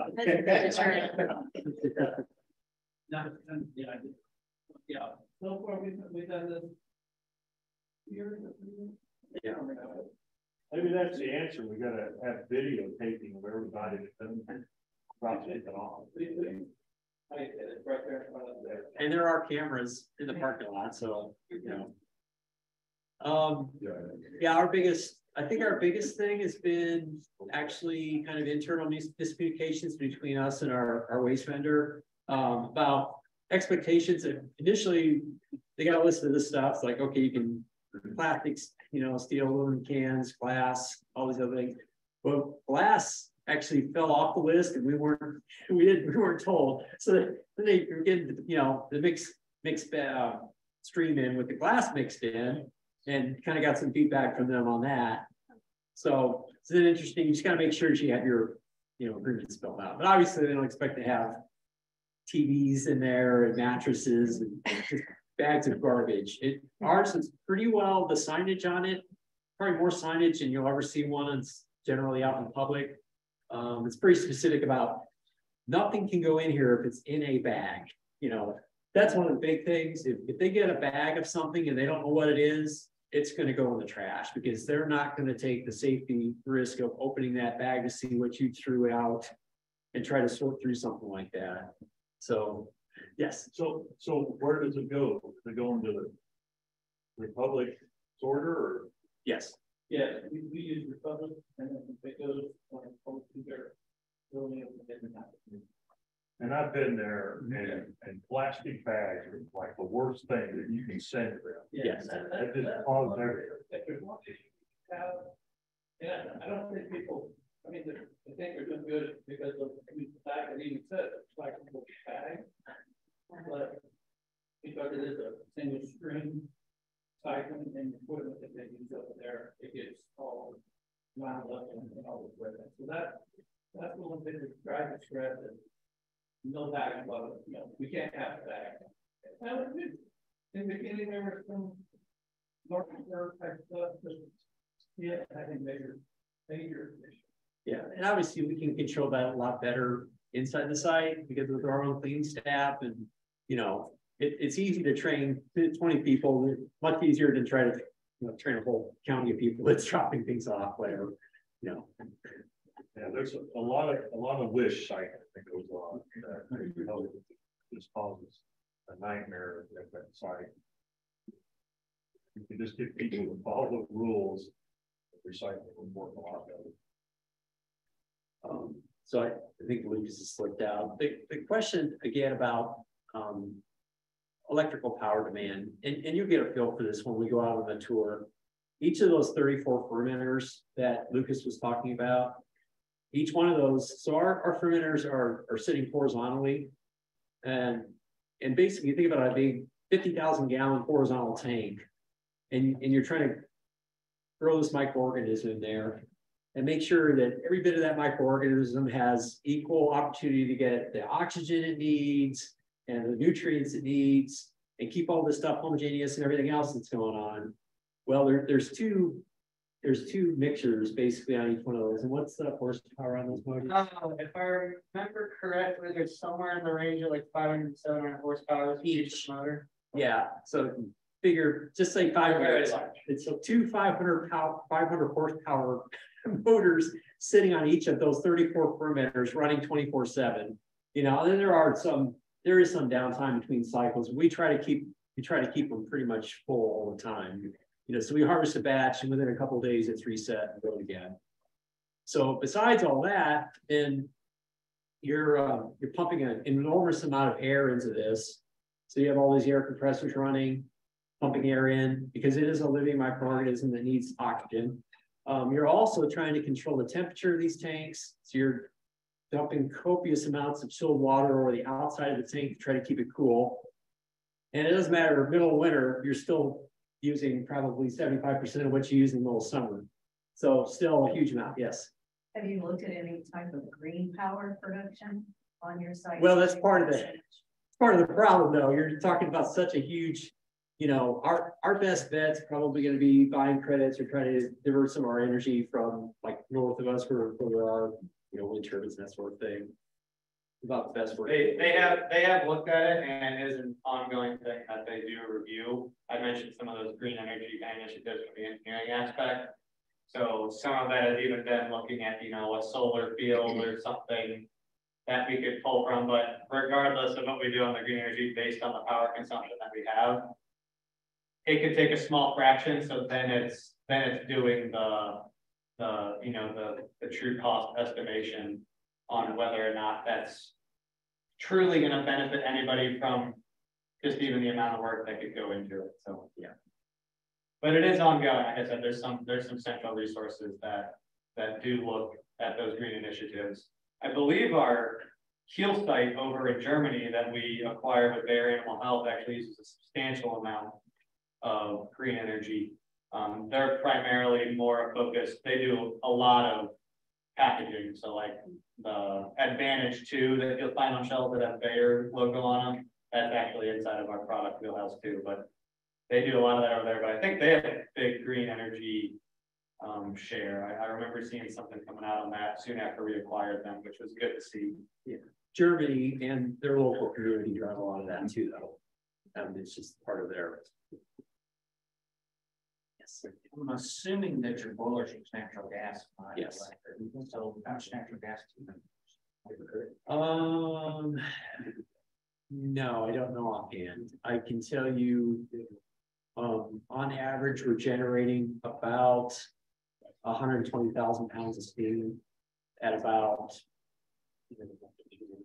175 pounds roughly. So it's hundred and seventy-five pounds saturated steam, lots of steam, hundred, even hundred and twenty thousand pounds an hour. So we, um, Didn't put this- Forty thousand. That's a pretty good estimate. So our, um. Our primary steam generation on the site up to about five years ago was actually a coal fired boiler. Which under Lilly, we shut down boiler and, and then actually, um, it's been completely demolished now, so there's no chance of bringing that back. But that was a pulverized coal.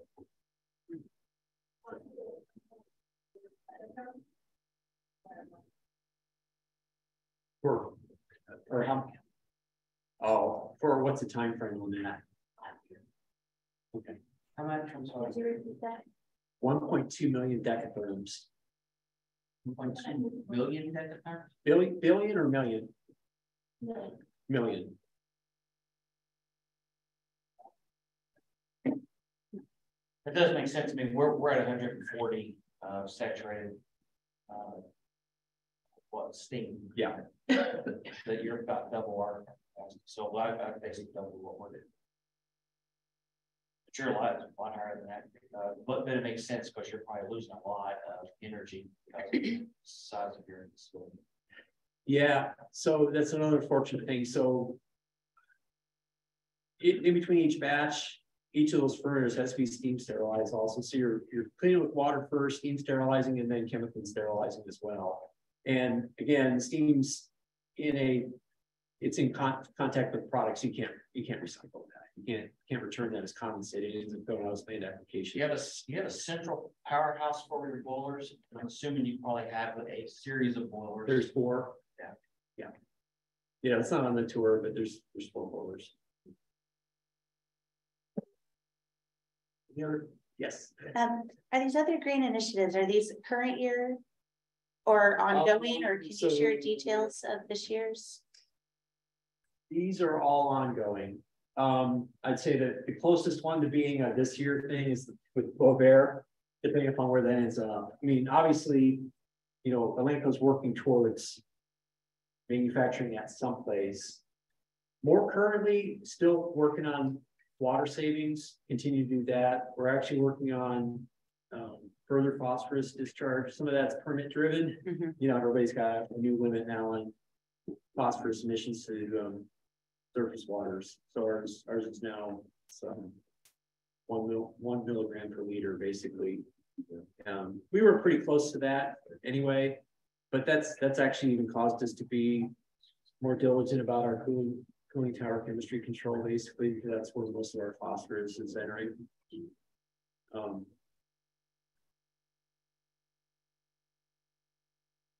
Yes, The land application, is that just on site on your six hundred acre?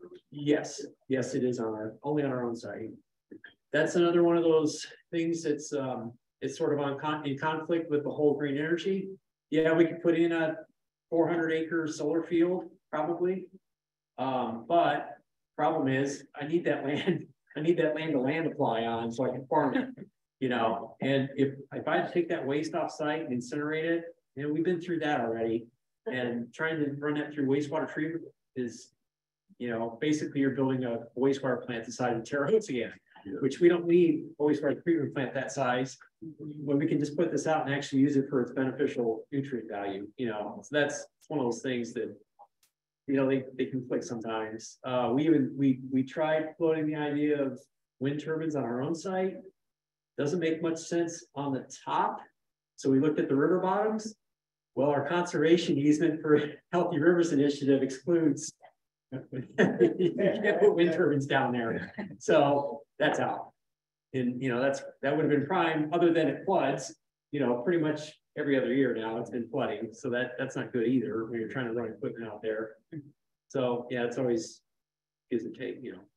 There, there are some sustainable packaging stuff going on. I can't speak to them specifically, but I know just from chats with our packaging means that there, there are some things they're actively looking into. And then the exterior molecule we've had around for a couple of years now, but we've really started to see a ramp up in production and ask from our customers. Um, so we're, we're, we're happy with that because we're able to produce more of a product that is on that sustainable, sustainable front. We started getting more buy-in from customers on it.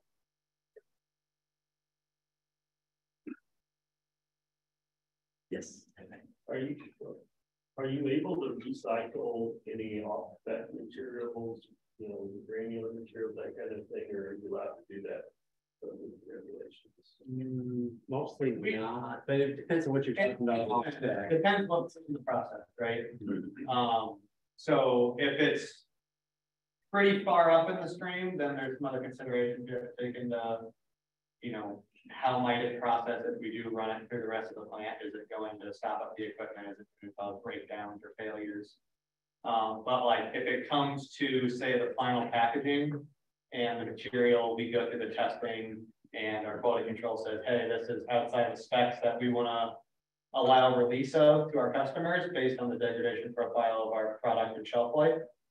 Um, we do have certain areas and criteria that we can reprocess that material and combine it with fresh to either get it to the correct dilution or, um, you know, different countries also have different requirements and specifications for things to hit. So sometimes you can actually convert that maybe off spec for one country, but you can do a couple small changes and now it's perfectly fine to be used in this other country because they use a slightly different application or a slightly different dosing. So there's, there's a lot of policies and procedures around that that are all guided by regulatory bodies approved up through all those levels of uh, levels that are needed. So um, we don't like to do it. We try to get everything right first time as much as we can. Um, but we understand that there is a need to have some of that to lower, not only lower the waste, but also lower, you know, cost the company eats from the product perspective. If you're really early in the process, like still at the fermentation stage, and this is a challenge too, I mean, anybody that's ever tried to do like home brewing, you know, if you get, get the wrong microorganism in there, you can ruin a batch, right? Which foreign growth for our, for us is pretty much, will, will kill a batch of, you know, a fermented, fermented product. So, but our solution to that is, again, land application. Because you still have all the same nutrients in that that you're feeding that microorganism, but you can basically dump that whole batch, you know, blend it with everything else we're land applying and, and get the nutrient value out of it that way. So it, it's much better, like I said, than, than sending it out and either landfilling it or incinerating it. You know, so that's kind of our ultimate, that's the other, other route we end up having to take. Yes, Hey, water well heads. six, Twenty-four. yes. Do you send any non-hazardous waste to landfill? Yes. It's another one of those challenges that's, you know, always try to minimize, try to working on minimizing that as much as we can.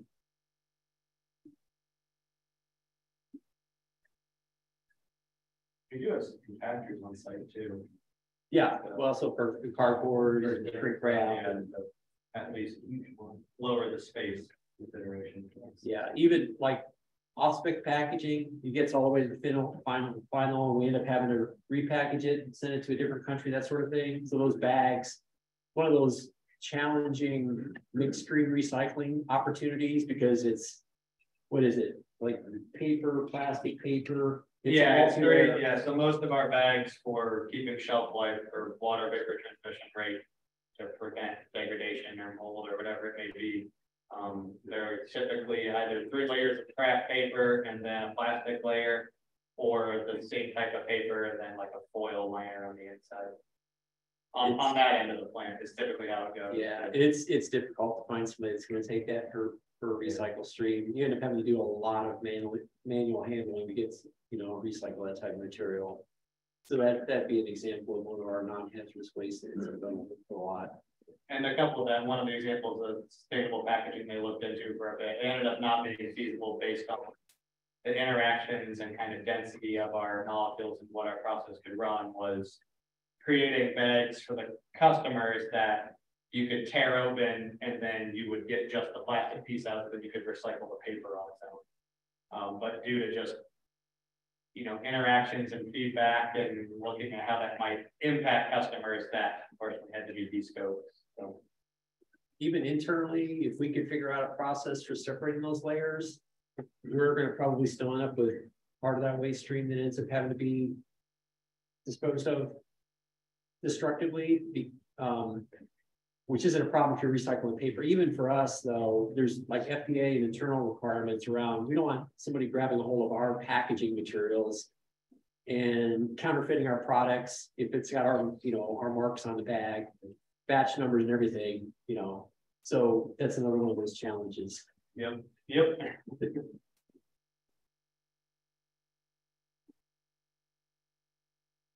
All right, I think we're back on schedule. That's pretty close. We have uh, slated for a fifteen minute break that we can catch up on emails, texts. Use other facilities, visit. Yeah.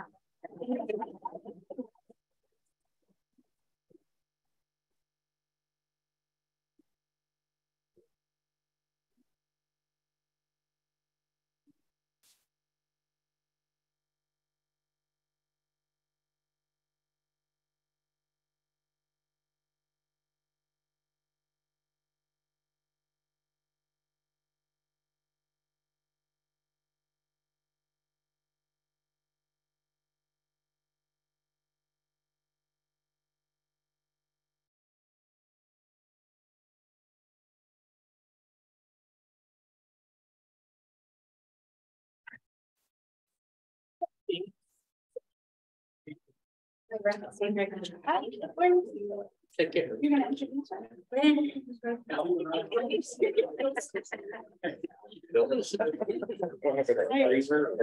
If we're ready, we'll get started uh, with some um, um, item updates, regulatory updates. Yep, uh, I am Carrie Clevenger and I'm the Small Business, Business Regulatory Coordinator and I'm a CTAP member.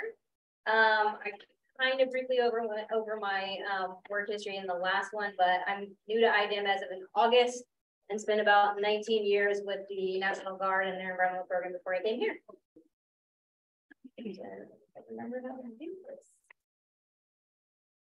So for the rule, the resources and rules and policy notices, obviously IDEM has public notices. A site that provides public access to all of our notices as required by statute of all Indiana uh, rules and regulations.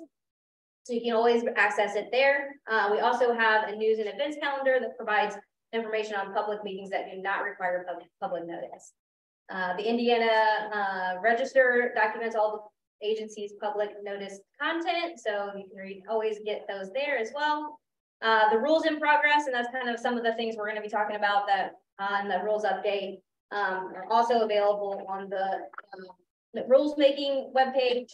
Uh, and then the Environmental Rules Board website has the dates of the meetings, um, the upcoming meetings and, um, summaries and agendas for what is presented. And as always, CTAP maintains a list of compliance due dates for Indiana businesses. So if you forget when things are, you can go to that page. You can also just get, get a hold of the CTAP program as well. So the last rule board meeting was last week on March eighth. Um, and there wasn't a lot of new things. Um, one of the, the ozone designation emergency rule was, uh, put forth again because they're still working on the finalization and that's that second one. And that just impacts the Clark, Floyd, Lake and Porter counties for the redesignations. Um, the information should be, uh, the final rule for that is supposed to be in June. Um, and so hopefully they'll finally get that set, put together. If not, the emergency rule will also be put forth in that June meeting. The Safety-Kleen SO2 revisions were preliminary adopted. Final adoption uh, should be uh, in June. In June. And then the solid waste definition was finalized.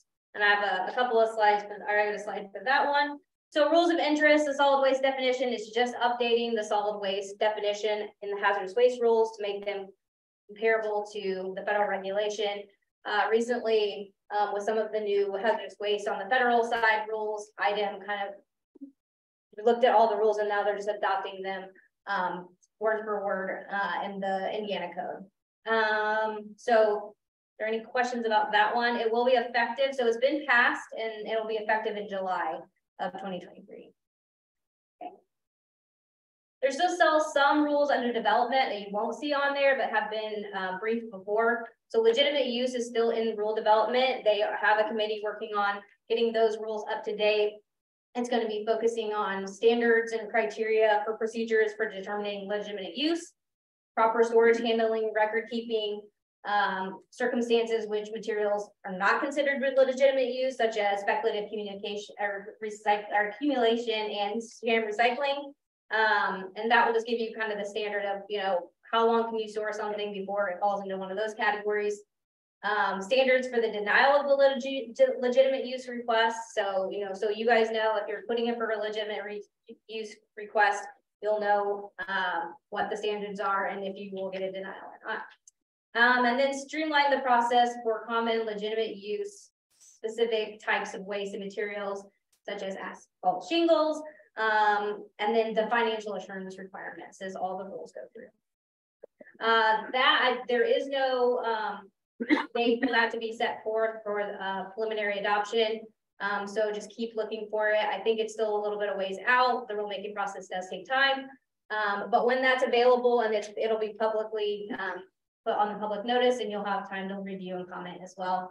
And making comments to the rules um, as you see them really helps make a stronger rule for industry. So if you are interested in these rules, the rules board meeting will give the updates of when what we're looking at and the public comment periods. And those are really important so that we can make better rules for you as well as for the state.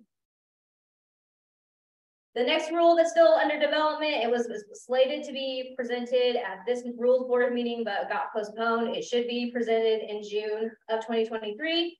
It's the um, use of combol or coal combustion residuals. Um, examples for raw, raw material for manufacturing another product, structural fill when combined with cement, sand, water, produce, produce and control strength fill material, road-based construction, um, so we still have to comply with the federal rule. That is a new rule that has come out recently, but uh, this is going to be Indiana's take on that. One of the programs that we wanted to highlight was uh, the Class B firefighting foam collection project. And that's just in partnership with IDEM and the Department of Homeland Security to collect firefighting foam from municipal and local fire departments, voluntary fire departments. House, Enrolled Act eleven eighty-nine restricts the use of Class B firefighting foam containing PFAS uh, for training purpose, purposes of training. So it can still technically be used for emergency fires because the uh, rollout of a replacement is kind of slow. Um, but the use for training is prohibited, so those fire departments aren't able, being able to use that material for training purposes. Uh, again, it is limited to the voluntary and municipal fire departments, and we've actually had some really good turnout. Uh, that'll be in the next slide, but this is just kind of the timeline. Uh, the, the proposal uh, started in 2020 with obligating funds for about 1.5 million. Um, contractor was selected in 2022. We had some surveys to find out where we were going to pick that up at. And then the collection began in April of 2022. Um, there are still some sites that, that can still respond to the surveys. Um, and we're still hoping to, to pull more in, but we've had, actually had a very successful program. Um, there's been about 226 locations that have responded to the survey and they've actually picked up the uh, foam and then we exceeded our expectations and we've actually um, put for disposal 32,964 gallons. So that is actually a really big number. And this is one of the programs that we're really proud of that we partnered with. And my favorite part of the presentation is touting our uh, IDEM CTAP Compliance Assistance Program. So how many people in here have actually used the Compliance Assistance Program? A few of you, okay. So as you know, we do have regional staff and we also have a centralized staff. We do have regional staff in our four different regions of Indiana and then centralized staff. When you get the information, you call in to either the hotline, you email, or send a portal uh, notification in. It goes to, depending on where you're at in the region, it goes to one of these people. Um, one of the things that we did launch um, recently was the CTAP online portal. And that's really a good place for you to start. If you have questions, sign up for the portal, get in the portal. And so you can be a contact, you can reach out electronically to us. You can actually do some um, kind of like, sort of like instant chat, but sending comments back and forth so that we can help you. If you've got quick questions, we can do that as well. And it allows us to track where we're going, uh, places we've been to, um, and provide that assistance. It is confidential to use the portal. So if you have concerns with that, we are bound by the confidentiality and we are a free confidential service. So, you know, please use our services. If you do not, if you call or you send an email, you're still going to be put in the portal. We're going to ask you for all your contact information. This is a good mechanism for us to be able to track the amount of site visits and the amount of companies that we interact with to put our numbers forth that we still have a valuable program and that we can still serve you. Um, Again, the, the portal, this is just the IDEM's electronic resource page. We do have a button that will take you to the CTAP uh, portal. If you go electronically, then you will be asked to do an Access Indiana account. Most of us have Access Indiana associated with our BMVs or um, other services that Indiana um, puts forth, but you do have to have that account first. Um, and then you can set up your account on the CTAP portal. Again, when you do call or leave an email, and if you haven't already been put into our portal, we'll, we will do that for you. You will get some email notifications for that portal. They may go to spam, but again, that's a really the best way for us to communicate with you and track what we've done for you. You can also go back um, in the portal and look up other questions. Um, there's a document section if we need to share documents or you need to share documents with us, we can put those in there as well. And that's a good resource for you to go back and forth uh, with our office um, to make sure that you're getting the answers that you need. We have a couple of different ways that we can answer your question. Not every uh, question requires a site visit, although we really do enjoy doing site visits. They're the best way for us to help you if you have a specific question um, that we need to actually get our eyes on to help you in the best way. But we can also respond to you through the portal as well with some recommendations. We'll cite the regulation and give you our recommendations for what you guys can do. Um, to be whatever, whatever the question that you have answered is. Um, we also have a way that you may see this is to track the emails we send you. So if we send you, if you send us an email, we'll track those as well so that you know, sometimes people change emails or, or things like that, and they'll always be tracked in the system as well. Again, site visits, please have us come out. It, it really does help us better suit you to get eyes on and, and be able to see what you guys have. Um, and, and give a, give you the best part of our service. Uh, then we would like to note that our services are whatever we see at that time or the question that you ask. It does not supersede the program area. So if there's something very specific that the program area may be better suited for, we may direct you to answer to, to that program area to get the best result for your question.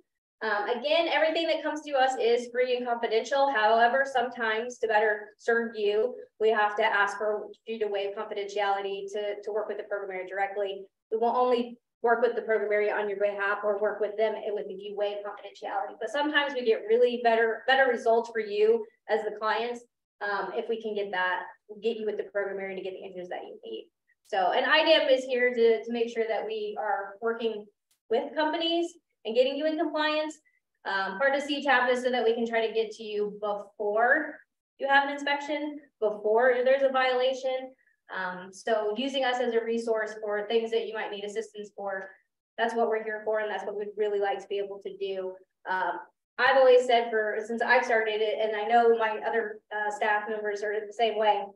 We love to be a proactive service instead of a reactive of we got an inspection and now what do we do? Or we were told we needed a permit. What do we need to do? Use us of oh, I think I might need a permit.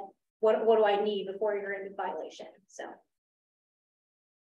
We do have some up, up um, upcoming uh, IDEM E101 trainings. Um, we don't have some dates yet, but we're hopefully tentatively doing an E101 uh, in May for the hazardous waste management for generators. It's kind of a, ex an extension of the waste characterization that we did um, last year. And then hopefully we will have the how to calculate your potential to emit um, in June. So those are two really good programs that we're going to do. If you're not familiar with our E101 series, um, we used to do some of these trainings in person COVID hit, and to be able to still be able to serve people, they went web-based. So one of the things we're doing is providing these 101 um, and sometimes 201 trainings uh, virtually. Um, but sometimes we get a little bit more participation. Um, and you guys drive what we present. So if there are suggestions or things that you think you want to see or questions, you know, if new rules are coming out and you want to know how the generator improvement rule, uh, you know, the, how that works, or um, there's being changes to the industrial stormwater permitting, we can bring in either our staff will put the materials together or we'll bring in program staff to kind of get you that information. So let us know. CTAP um, email can work just fine for giving us suggestions. Um, but we do also, if you participate in these or these webinars, we'll also have that as part of our survey as well. Any questions? We do have some from online. Uh, one asked, do you know if the Class B foam program has been shared with local LEPCs? Uh, that is a great way to get it to local levels.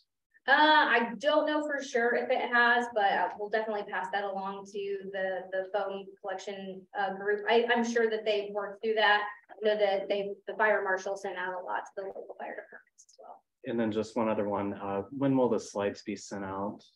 When will what? The slides The be sent slides. out. Couple days. Okay. Okay, first, first of next week. Yep, and all the links are active and you can reach that. And again, you can reach out to me directly. Um, my specific focus is small business, but I'm a part of the CTAP group, so we, we're here to help you guys in any way we can. I think I will get this ready for our next presenter. Thank you, Karen.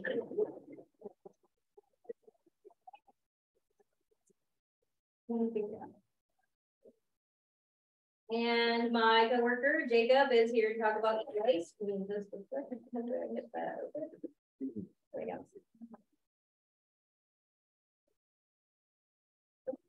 Thanks. Yep.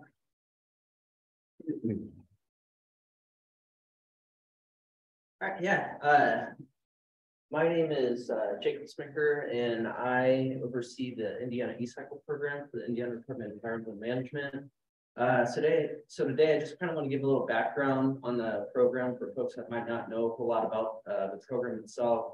Also want to kind of talk about some of the stakeholders uh that kind of make up the program.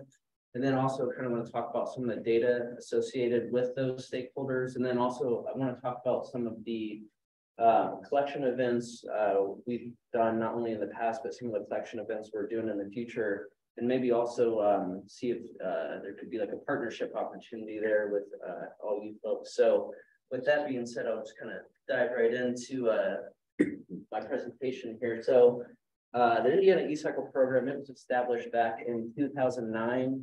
And the main focus of the program is to reduce electronic waste that's being sent to Indiana landfills. Um, it's also, uh, the program is there to ensure that the material, um, is being collected and recycled in a responsible manner. And then, um, it's also a really, uh, huge pro, uh, focus with the program to promote the, uh, recovery of valuable materials that are found inside of electronic devices.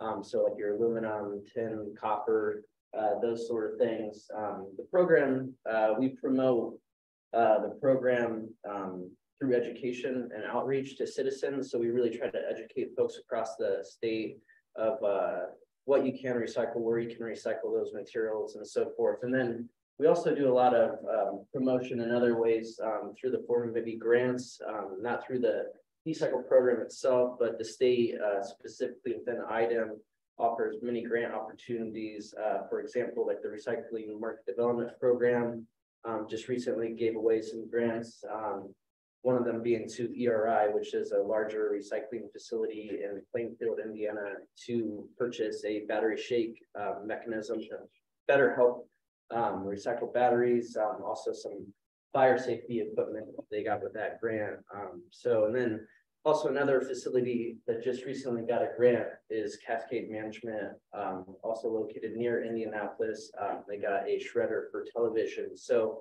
those are just some of the ways we try to promote the program, um, both at the citizen level and then also uh, with businesses, uh, companies that are actually recycling material. Um, did want to talk about some of the stakeholders that make up the program. Uh, the first one being uh, what we call manufacturers that operate within the Indiana E-Cycle program. And when I say uh, manufacturers in relation to the program, that's going to be like your Apples, your Dells, Sony's, Microsoft, Google. Um, they participate in the program. Um, they submit like a registration to the program. They submit an annual report, but probably one of the main things they do is they have a recycling obligation that they have to fulfill with the state. And that recycling obligation is based on the units of uh, electronic devices that they actually sell um, to citizens. So um, that's the manufacturers that uh, participate in the program. We also have collectors that participate in the program, and the collectors are simply the folks that are actually collecting the material. Um, so that might be like your solid waste management districts. Uh, Goodwill is actually a collector that operates within the program. Um, they collect a tremendous amount of electronics that just can't be resold.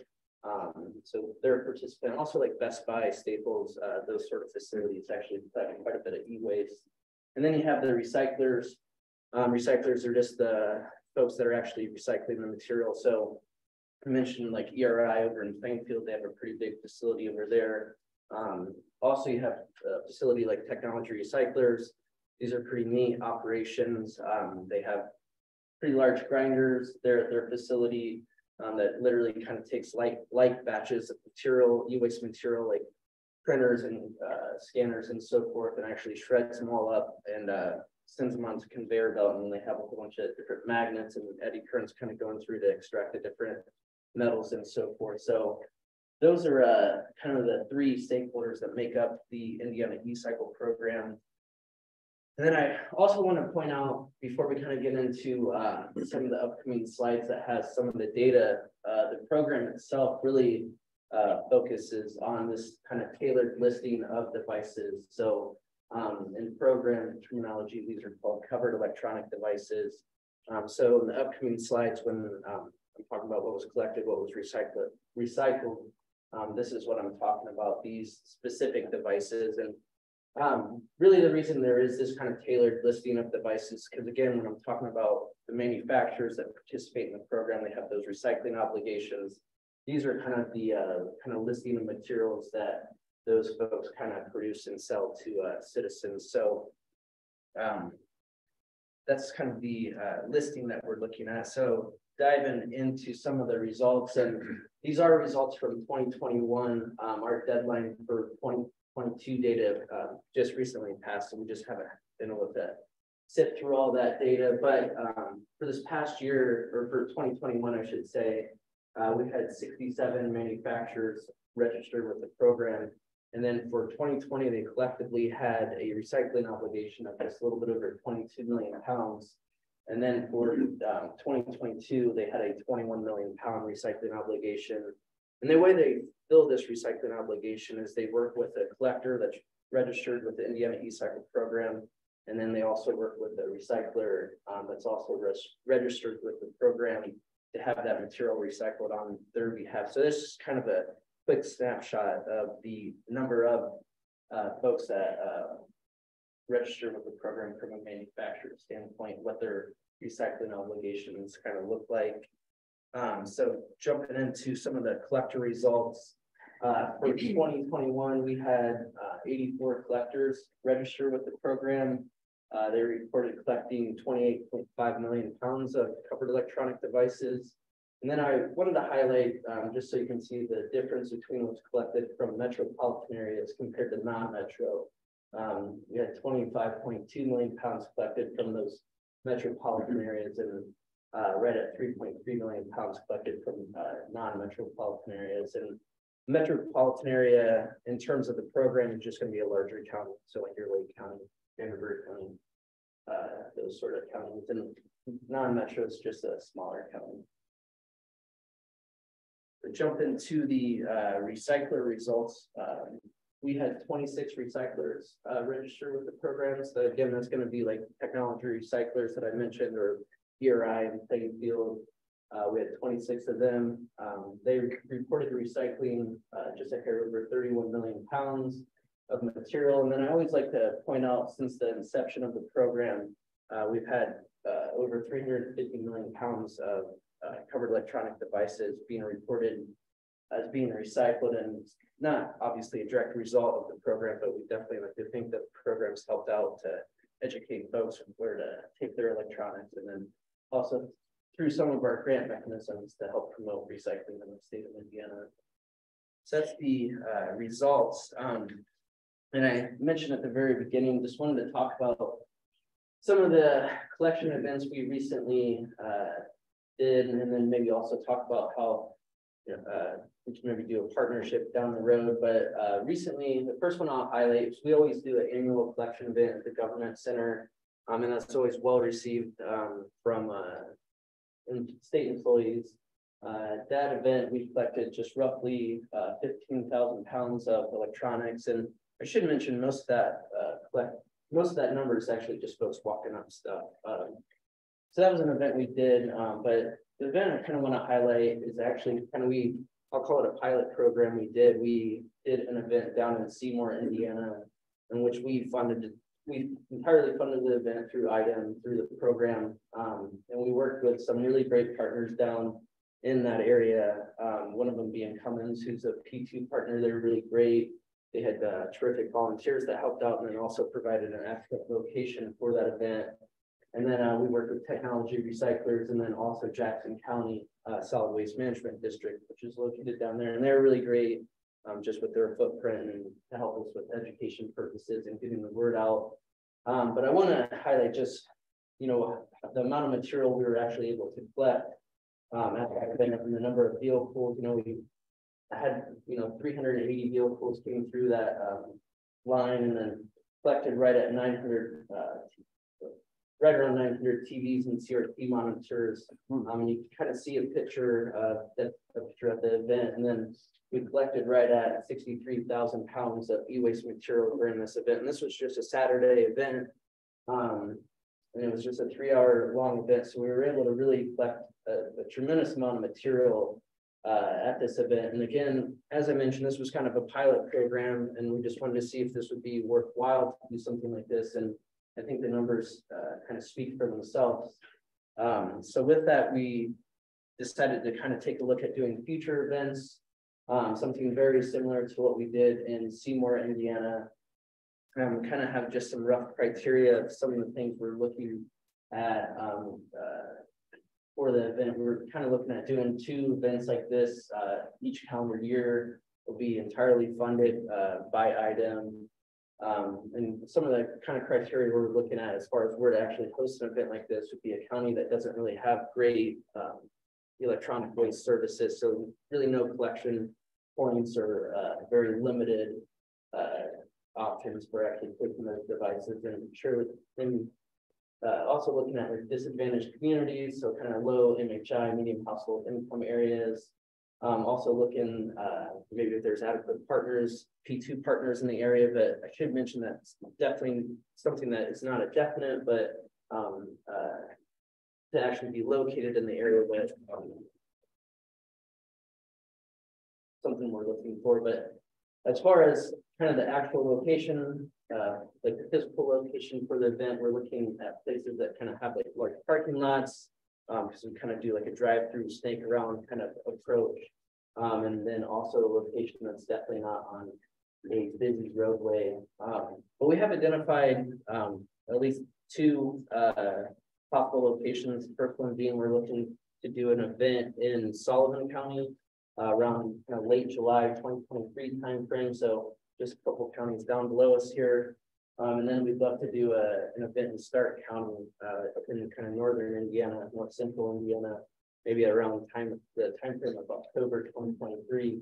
Um, but would definitely love any kind of partnership or, uh, so forth from P two folks, um, but just kind of wanted to give her a brief overview of the e-cycle program, um, and then kind of just talk about some of the things we're doing with it and, and some partnership opportunities with it. Uh, but that's really kind of all I had, uh, for today. I don't know if anybody has any questions about electronic waste or what we're looking to do. Yeah, Gene? So, um, your event in Seymour, when you think of Seymour, it's a relatively small community, so. How far did folks come to, you know, um, drop off their TVs and stuff? You know, Yeah, so definitely folks, uh, obviously, uh, the surrounding counties, uh, we definitely saw folks come from there. We did track that data. Um, just where they were from, uh, but primarily Jackson County. And then also we did have the surrounding counties because we didn't have any stipulations saying you couldn't bring stuff, uh. Uh, if you were not from Jackson County, we didn't, and we didn't charge any money, um, so that was why it was so successful. We didn't charge for televisions or anything like that. Um, so. Did you have, uh, did IDEM pretty much fund all of the marketing? Um, Yeah, yeah, we funded pretty much everything, um. Uh, yeah, what did you, what were the methods of marketing, like how did you have the word out to know? So we did a, quite a few different things. We worked with the media department within IDEM. Uh, took like a boots on the ground approach as well, so I actually went to Lake Seymour and, and that community and just kind of went around talking to businesses, getting the word out, went to the police station, fire department, schools. All the different departments associated with a, a town. Um, I emailed, I can't tell you how many people I emailed, I just literally Google searched and just pulled emails off, uh. All the different organizations I could, whether that was the schools, uh, please, I mean, all the departments, so. Definitely got the word out that way, contacted the radio stations, newspaper outlets, all that sort of stuff. Um, just really anything, any email I could pull or, uh, mechanism, um, I tried to do, and I think it worked. I think the word really got out, um, with that. So, I have a minute with this. Um, were you limiting it to like residential or were you? no, we didn't limit it at all, actually. Um, we didn't limit it, limit it to just Jackson County residents. We didn't, didn't limit it at all, so you can come from anywhere. Yeah. Um, when you do determine the dates, I think we'd love to be able to put those on some of the partners. Um, social media and help uh communicate that too. Yeah, yeah, and we're actively working on securing like the exact date, but like I Mhm. said, the event um in Sullivan County, we're kind of looking at late July Mhm. twenty twenty-three. And possibly the event up in Stark County in October twenty twenty-three, sometime around that, but um, yeah, and we're definitely would love. Any folks that would like to partner with us to do an event like that. Like I said, Cummins partnered with us and um, it was fantastic. Um, and yeah, we just got a ton of material, and I should mention too, the weather wasn't great that day, so. Uh, we did, we still collected, uh, tremendous amount of material, and that's why we want to do, it. you know, we saw there was a huge need for something like that, and. Uh, definitely want to continue on and continue to do events just like that, so. When you partner with a company to host this, who is responsible for getting that material disposition? Uh, so we sent it out for bid to like a recycling company, so we sent it out across the state, to different folks that, um. That that's their business, so a couple examples would be like ERI, um, I know I've mentioned them a couple of times. Uh, they're a very reputable company, they have the R two certifications and all that sort of stuff. Technology Recyclers is another great company. Um, that I know, uh, usually bids on projects like that, um, so it's, it's on the, the recycler themselves. And they're the ones that provide all the transportation, so all the box trucks, semis and that sort of thing. We have that language in the bid um, as well. And they, they're the ones that provide the staff um, uh, to actually handle the material and, and so forth. Um, volunteers, we really like to just see them kind of directing traffic, handing out things to citizens. We usually like to you know, give them a few um, educational items about the recycle program, maybe about like we did it in Jackson County about their solid waste district and try to get the word out of what they can do too, um, and just educate folks. Uh, but yeah. We have a few online questions too. One is, uh, do you have any lessons learned from items you could not accept uh, that day? Please repeat it, Jacob. Oh, I think any lessons learned from Right. items not to accept? Right. Uh, I, I, I don't personally, I know, um, one of the reasons some of these companies are really great to work with is because of just their mechanisms that are in place. Um, so like a technology recyclers or like a ERI, they can really handle all kinds of materials, um, whether that's a toaster, a laptop. Um, so they kind of have an array of items that they can, they can work with just because of the way their shredding mechanisms work. Obviously, batteries are always an issue, um, or can be an issue, um, these days, especially with fires and so forth. So understanding how to properly handle them, um. Okay, and then just one other, uh, not related specifically to e-waste, but Tox Away Days seem to be successful. The only problem I see in southern Indiana is, uh, it usually only happens in Vanderburgh County, and you have to be a resident to use it. Are these in partnership with IDEM? If so, it would be beneficial to have other counties participate. I have employees ask me how to be, dispose of stuff they have at home frequently. Yeah, no, I, know a little bit about the parade days that occur. Um, I know that one in Bartholomew County is usually a really successful one, and a lot of times that is at the local level. So usually it's funded by the county, the solid waste district. Usually they have funding set aside uh, to do an event like that. And um, yeah, a lot of times that those events will accept electronics, uh, all kinds of hazardous substances, even tires. A lot of times at those events. Um, uh, that's kind of what I know about those and what I can speak on. So. Can, Oh. can I help with that question? Yeah, So, go for it. um, at our company, we, um, helped, we just Googled the counties and most counties, um, in the state have a page where they say how to provide yard waste, household goods, and a number of the things you mentioned in addition to just the e-waste. Um, so that might be a recommendation to, to Google and they have current, almost all the counties had current, you know, in twenty twenty-three. Uh, when we were looking earlier this year. Yeah, yeah, it's definitely a good suggestion.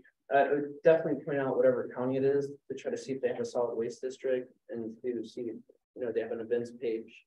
Um, to locate when they, when they might have an event like that. And that's it from online. Okay, I think that's all. Yeah, well, I- piggybacking on that, your values or your numbers that you showed up there, they did not include like electronics brought in approximately days by the. Uh, that would uh typically, those, that data should be included in that. Typically is reported through the solid waste district or whatever their vendor is that they're working with with their electronics. So I know, for example, like at the Bartholomew County Toxaway Day, you know, they do all kinds of stuff, whether it be tires or hazardous waste and whatnot, but then they also do electronics and their vendor, which is technology recyclers. Uh, they're the ones that actually report all the e-waste data and they report that into the e-cycle program. Okay. Do the, do the recyclers report back to you on what they actually extract from electronic waste or? Uh, they don't break it down to like, I mean, I think, you know, from copper, aluminum and steel and all that sort of stuff. I don't get, I just kind of get the raw number. Um, so, But I assume those are all based on incoming panels, you know, TV or, or stereo or whatever, and then. What do they get out of that is probably a fairly small amount, but. yeah, it's all like based on. Things like that. I just wonder if They, they, they report that somewhere. No, not, not into the e-cycle program. And It is just based on the whole, the whole device, basically. And I had one more, do you guys have? The ability to go out and inspect the collection sites, people that have set up collection sites for you for. Yeah, yeah, so I, it's kind of what I, one of the things I do is I do get around the community, not only to educate, you know, and, and also uh, to educate on proper or best management practices from a collection standpoint. Um, I also go with, uh, through the Department of Land, through IDEM.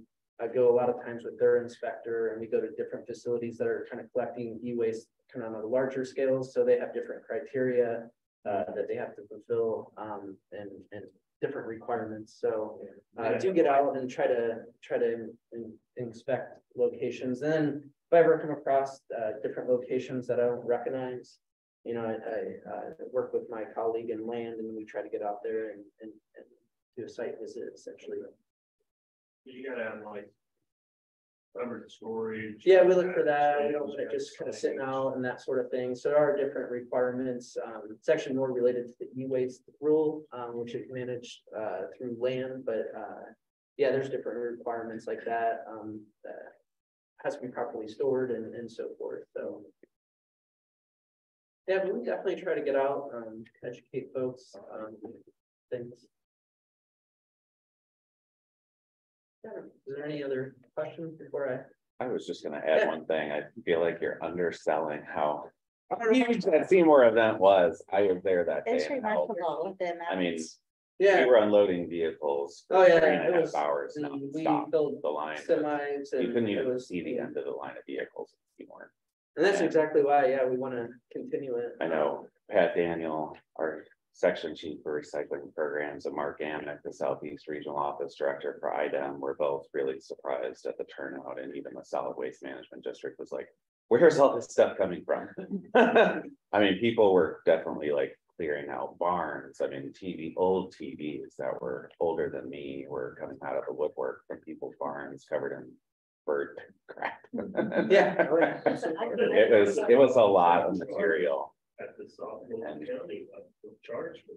Right, Right. yeah. You're doing that for free. We were not charging, we're paying Yeah. technology recyclers or whoever our vendor is. And that was kind of the point, uh, yeah. so they don't end up where you don't want them basically, so that's why we did do it for free.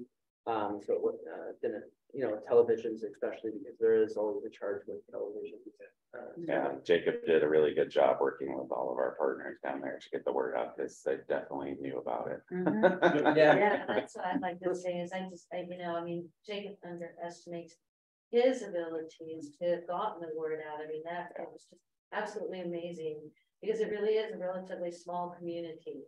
And to get the sense of how much actually filed in and from where everybody was coming.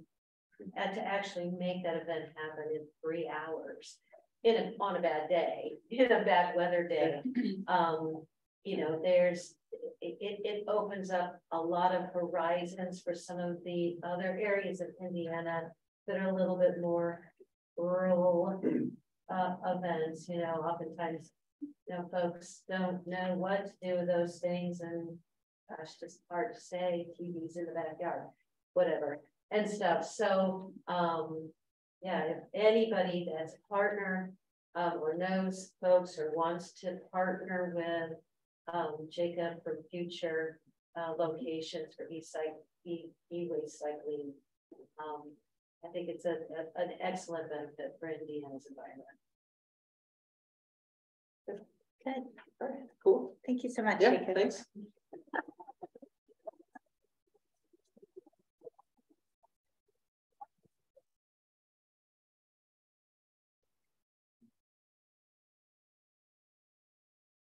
All right, the last presentation before lunch and tantalizingly, it's already spread out behind us as we speak. So I promise I'll keep this on time or uh, maybe even a little bit early. Thank you, Carrie, for setting up my slides. I don't have that many slides. Um, I'm Missy Shaber, the Clean Community Program Manager. And without even having to get into the slides, I can tell you in a nutshell what the Clean Community, thank you, enter copy. What the Clean Community Program is basically clean community is to municipalities, governments, cities, towns, counties, what partners for pollution prevention is to businesses and facilities. So if you want to think of it just kind of as a sister program, as a matter of fact, I'll even have people email me, maybe from a business saying, I'd like to be a clean community program member. It's like, oh, let me steer you to G because that's more partners for pollution prevention. So if you can just kind of categorize it in your mind like that, that gives you an idea of what the clean community program is. For one thing, similar to partners, it's voluntary. Um, I used to be an inspector for stormwater. I used to go onto a site and it was not voluntary to deal with me. So it's fun now when I go to a community and I'm there because they want me to be there and I'm there to enjoy them and enjoy all their awesome projects. So I get to play with the good players now, much like all of you in this room. So it's voluntary. There's no fee to participate. Again, much like partners. Right now, we're working with six pilot communities. We are revamping the CLEAN program, which I'll tell you a little bit about in the coming slides. It used to be way too cumbersome. It used to have an EMS requirement. It too closely followed the business model. And municipalities, especially small municipalities, they, that's just way over their head. It's too much. So we are really simplifying the clean community program. And right now, the six pilots have been really patient with us because that's what a pilot is. It's trial and error. We're finding out what is and is not working. So we're about ready to launch the program statewide. We've been saying that it seems like forever, but it'll be coming in the next um, couple months for sure.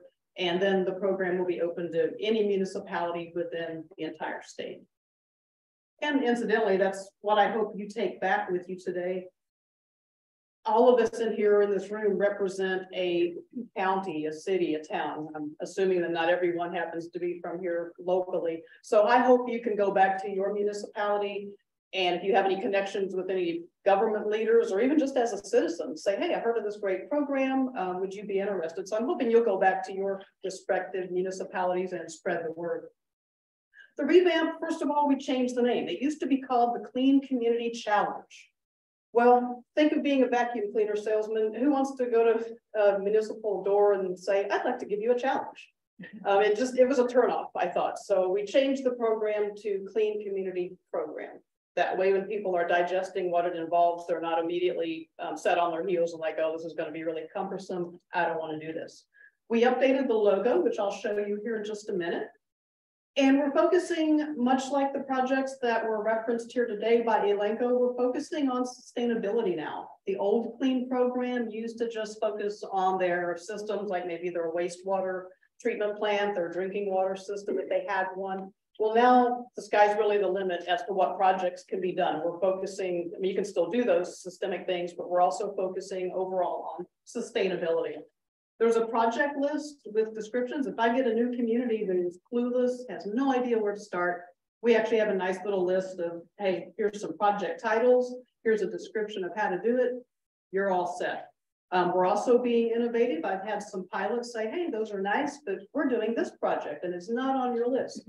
Okay, submit that to me. Um, we'll review it and we'll make it a clean project if it matches our review. So we're actually letting communities be innovative and make up their own projects as well. And then that can be a project that another clean community could choose in the future. And again, we've streamlined those reporting and paperwork requirements. That is our new logo. The reason that's important is that the municipalities love to be able to put that on their letterhead, on their websites. Um, if they attain gold level, which I'll go through the levels here in a minute, we actually will offer some street signage to them. So there are different perks and rewards that they get for being a member of the program. And that recognition, that logo is really important to them. We solicited feedback from the pilot communities. Hey, what do you want the logo to look like?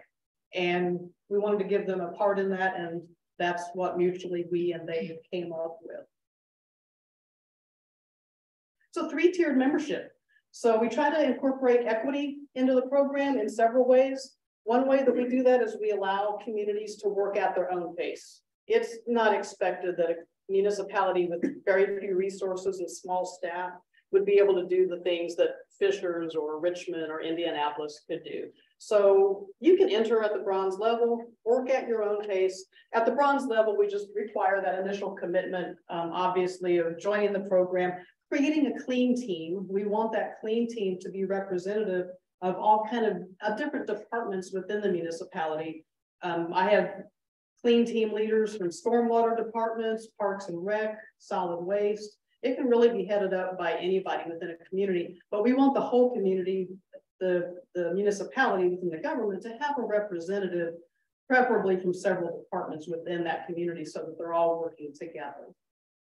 And we do have an annual meeting that we let them attend and that's an awesome networking opportunity. They get to compare projects and meet each other sometimes for the first time in person. Silver level is where the project requirements come in. Four, six, or eight is the number of the projects, and that's based on community on population size. So for under 35,000, you would only have to do four projects. 600,000 is the cutoff on the upper end. Really only Indianapolis reaches that. So for the most part, all of my pilots right now are either in the four or six project category. They're either small or medium communities. But Indianapolis, if they choose to join in the future, they would be one of those eight project requirements. And again, they can do that at their own pace. There's no hurry. Um, you know, of course, we encourage forward progress and I check in with them frequently, but we want them to be comfortable and, and do it at their own pace and not feel rushed. That was another feedback issue that we got from the revamp is they're going to drop out of the program if they feel like there's some really strict timelines. So we want to give them that flexibility. Is and then four to eight projects a year? It doesn't have to be per year. That's the awesome thing about it. It can be those projects, maybe it takes them two or three years to complete, and then they can choose to stop at that and stay a silver member. Or they can say, hey, we've got more projects that we're working on. Let's take another couple years and we want to do four more, six more, eight more, and we want to be gold. So it doesn't even have to be per year.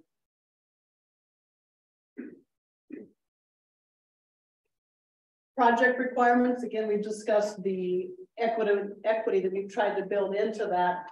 Some examples of the project categories, it's not limited to these, but I just put a few on the slide. We've talked about several of these today that again are applicable in the business world as well. Waste management reduction, energy renewables, um, community resiliency, that last one. We have some assistance with Indiana University. They have an environmental resilience institute and they help us with some of the projects like greenhouse gas inventories, climate action plans. And speaking of the one year requirement, those are monstrous projects to tackle. So there's really, sometimes you can do a climate action plan in a year, but typically it's an 18 month commitment. So if they choose those big projects on the list, we want to give them plenty of time. Some project examples, we've already talked about Tox-Away Days, they can actually do a SolSmart Community. That's an independent program to IDEM, but we will accept that as a project for Clean Community, for example, if they've completed that. Community Gardens, uh, Tree City USA is another program that's common. There are a lot of different projects they can pick. That's just a few that I decided to put on a slide. And again, they can make their own and create a new project title, tell me about it. I submit it to my management and then it becomes another project. So the communities are really excited about being able to be innovative and do their own projects as well. And it's all about working together. That's the fun part of my job when I go to a community and I see the interdepartmental relations and one did a community garden and then over here they've got stormwater ordinances they're working on and to see them come together as a community and then work with us, IDEM, it makes a really good partnership to showcase some really innovative things clean at idem.in.gov. That will point to my email address. So if you want to contact me, um, I either have some business cards on me, of course, or you can just remember clean at idem.in.gov. That will reach my inbox And I'll be glad to answer any questions you have. I would love to have some referrals from you for different municipalities that want to come on board as a clean member. The application used to be, I think, six pages, and as part of the revamp, I condensed it to two. So it's a much simpler application, especially since COVID, people just do not want to mess with something if it's tedious. I walked into a municipality the other day to promote the clean program, and the first thing she said, I mentioned just briefly the application, the paperwork, she said, oh, you didn't tell me there was paperwork. Like, oh my gosh, I've lost her already, but it's just two pages. So there has to be some reporting, obviously, for us to manage the program, but we really do want to keep this simple. Do you have any questions? Yes. What are the six pilot communities? We have Zionsville, Merrillville, Richmond, Fishers, Brown County, and Beech Grove. Those are the six, and it's awesome because I can email them and say, well, like with the logo, it's like, yeah, what do you think about this? And oh my gosh, the fee, I mean, they really did care. They actually had opinions like, oh, that's too busy, or this looks too childish. We're gonna put this on our public roadway. We don't want something that looks cartoonish or kiddish, and like, oh, I didn't think of it that way. So we modified it a little bit. So the pilots have been awesome. They've been really patient with us and um, changing things midstream and saying, oh, we were gonna do it this way, just kidding, and then they'll have to shift gears with us. And so pilots have been great, but I really look forward to rolling it out statewide. Any other questions? When do you anticipate it will be rolled out statewide? I'm thinking it would be the end of April at the earliest. What I want to focus on first is my pilots, many of them are ready to be graduated up to the silver level. And they're submitting projects to me for review, both my administrative review and then I like to go field truth those. And I really would hate to roll out the program statewide while my pilots are still waiting, like, wait a minute, we've been with you for two years, give us our silver status already. So I'm trying to focus on the, on the pilots and graduating them up to the next tier before rolling it out statewide, but it's coming very soon. Yes. Do you have plans for recognition such that, uh, you know, I think about uh, friendly competition amongst communities? That does, that absolutely does happen. And we issue, we have a letter that we send out when they attain silver status, when they attain um, becoming a new member in the first place. There's some press releases that go out with that. There are social media posts, Facebook, um, I believe even LinkedIn we can do. So it absolutely is a competition factor when they find out what a neighboring community is doing, like, oh, well, we've done something similar. Let's, you know, we can do that too, or we can improve upon that. So our press releases, social media, that's where they get a lot of their recognition. And that means a lot to them. One of the perks of the program that brings up a good thing I didn't cover is they get advance notice of inspections if they want that. Um, sometimes it's meaningful to them, like, hey, we're a clean community. We want to take advantage of that advance notice so we know an IDEM inspector is coming. But I found that even more meaningful to them is the recognition, the, the media coverage and public recognition. Oh, we're right on time. We can have one more question. On one of your initial slides, you said that in order to be a community in there, you had to have of a good environmental. What does that entail? What are you looking for there when you're your community? Determine if they're on track environmental. We utilize a couple mechanisms for that. When I have a community that wants to join, we would actually have a CTAP, the CTAP program that Carrie spoke about. Our CTAP staff can go in and look at their facilities, look at their compliance history administratively through our database and say, okay, these are issues they've had in the past, but they're now resolved, or no, they've got a little bit more work to do before they're back in good standing with us. So we do do an environmental history compliance check. It's on the community itself and not maybe the industry.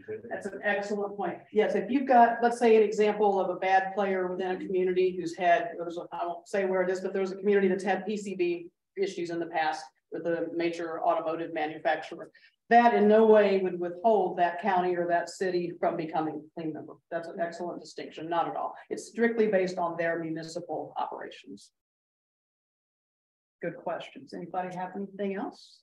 thank you for going forth and promoting clean wherever you work or live. And I'd love to have some referrals from you. If you have any questions, you snag me later on. Would partners or ESP members be able to partner with a clean community for like outreach, uh, like community yeah. outreach and that type of thing that they could then use as one of their projects or extension for their reporting. Absolutely. That's even when, um, John with Elanco was speaking earlier, I asked if the recycling was open to the public, and I was kind of trying to make that segue. Because it would be very possible for, it, it turns out in that case, the city or county is not really involved with the recycling directly, it's something they pay for. But it brings up a, a good example that if a business is doing something that could easily partner and qualify as a clean project, then yes, they could actually communicate with that municipality and say, we as a partners or ESP member are doing this project, would you like to help us? It can count towards your clean project, it can count for us for ESP partners, we would highly encourage that partnership, absolutely. Anybody have anything else? Awesome, well, thank you and enjoy lunch, it's ready.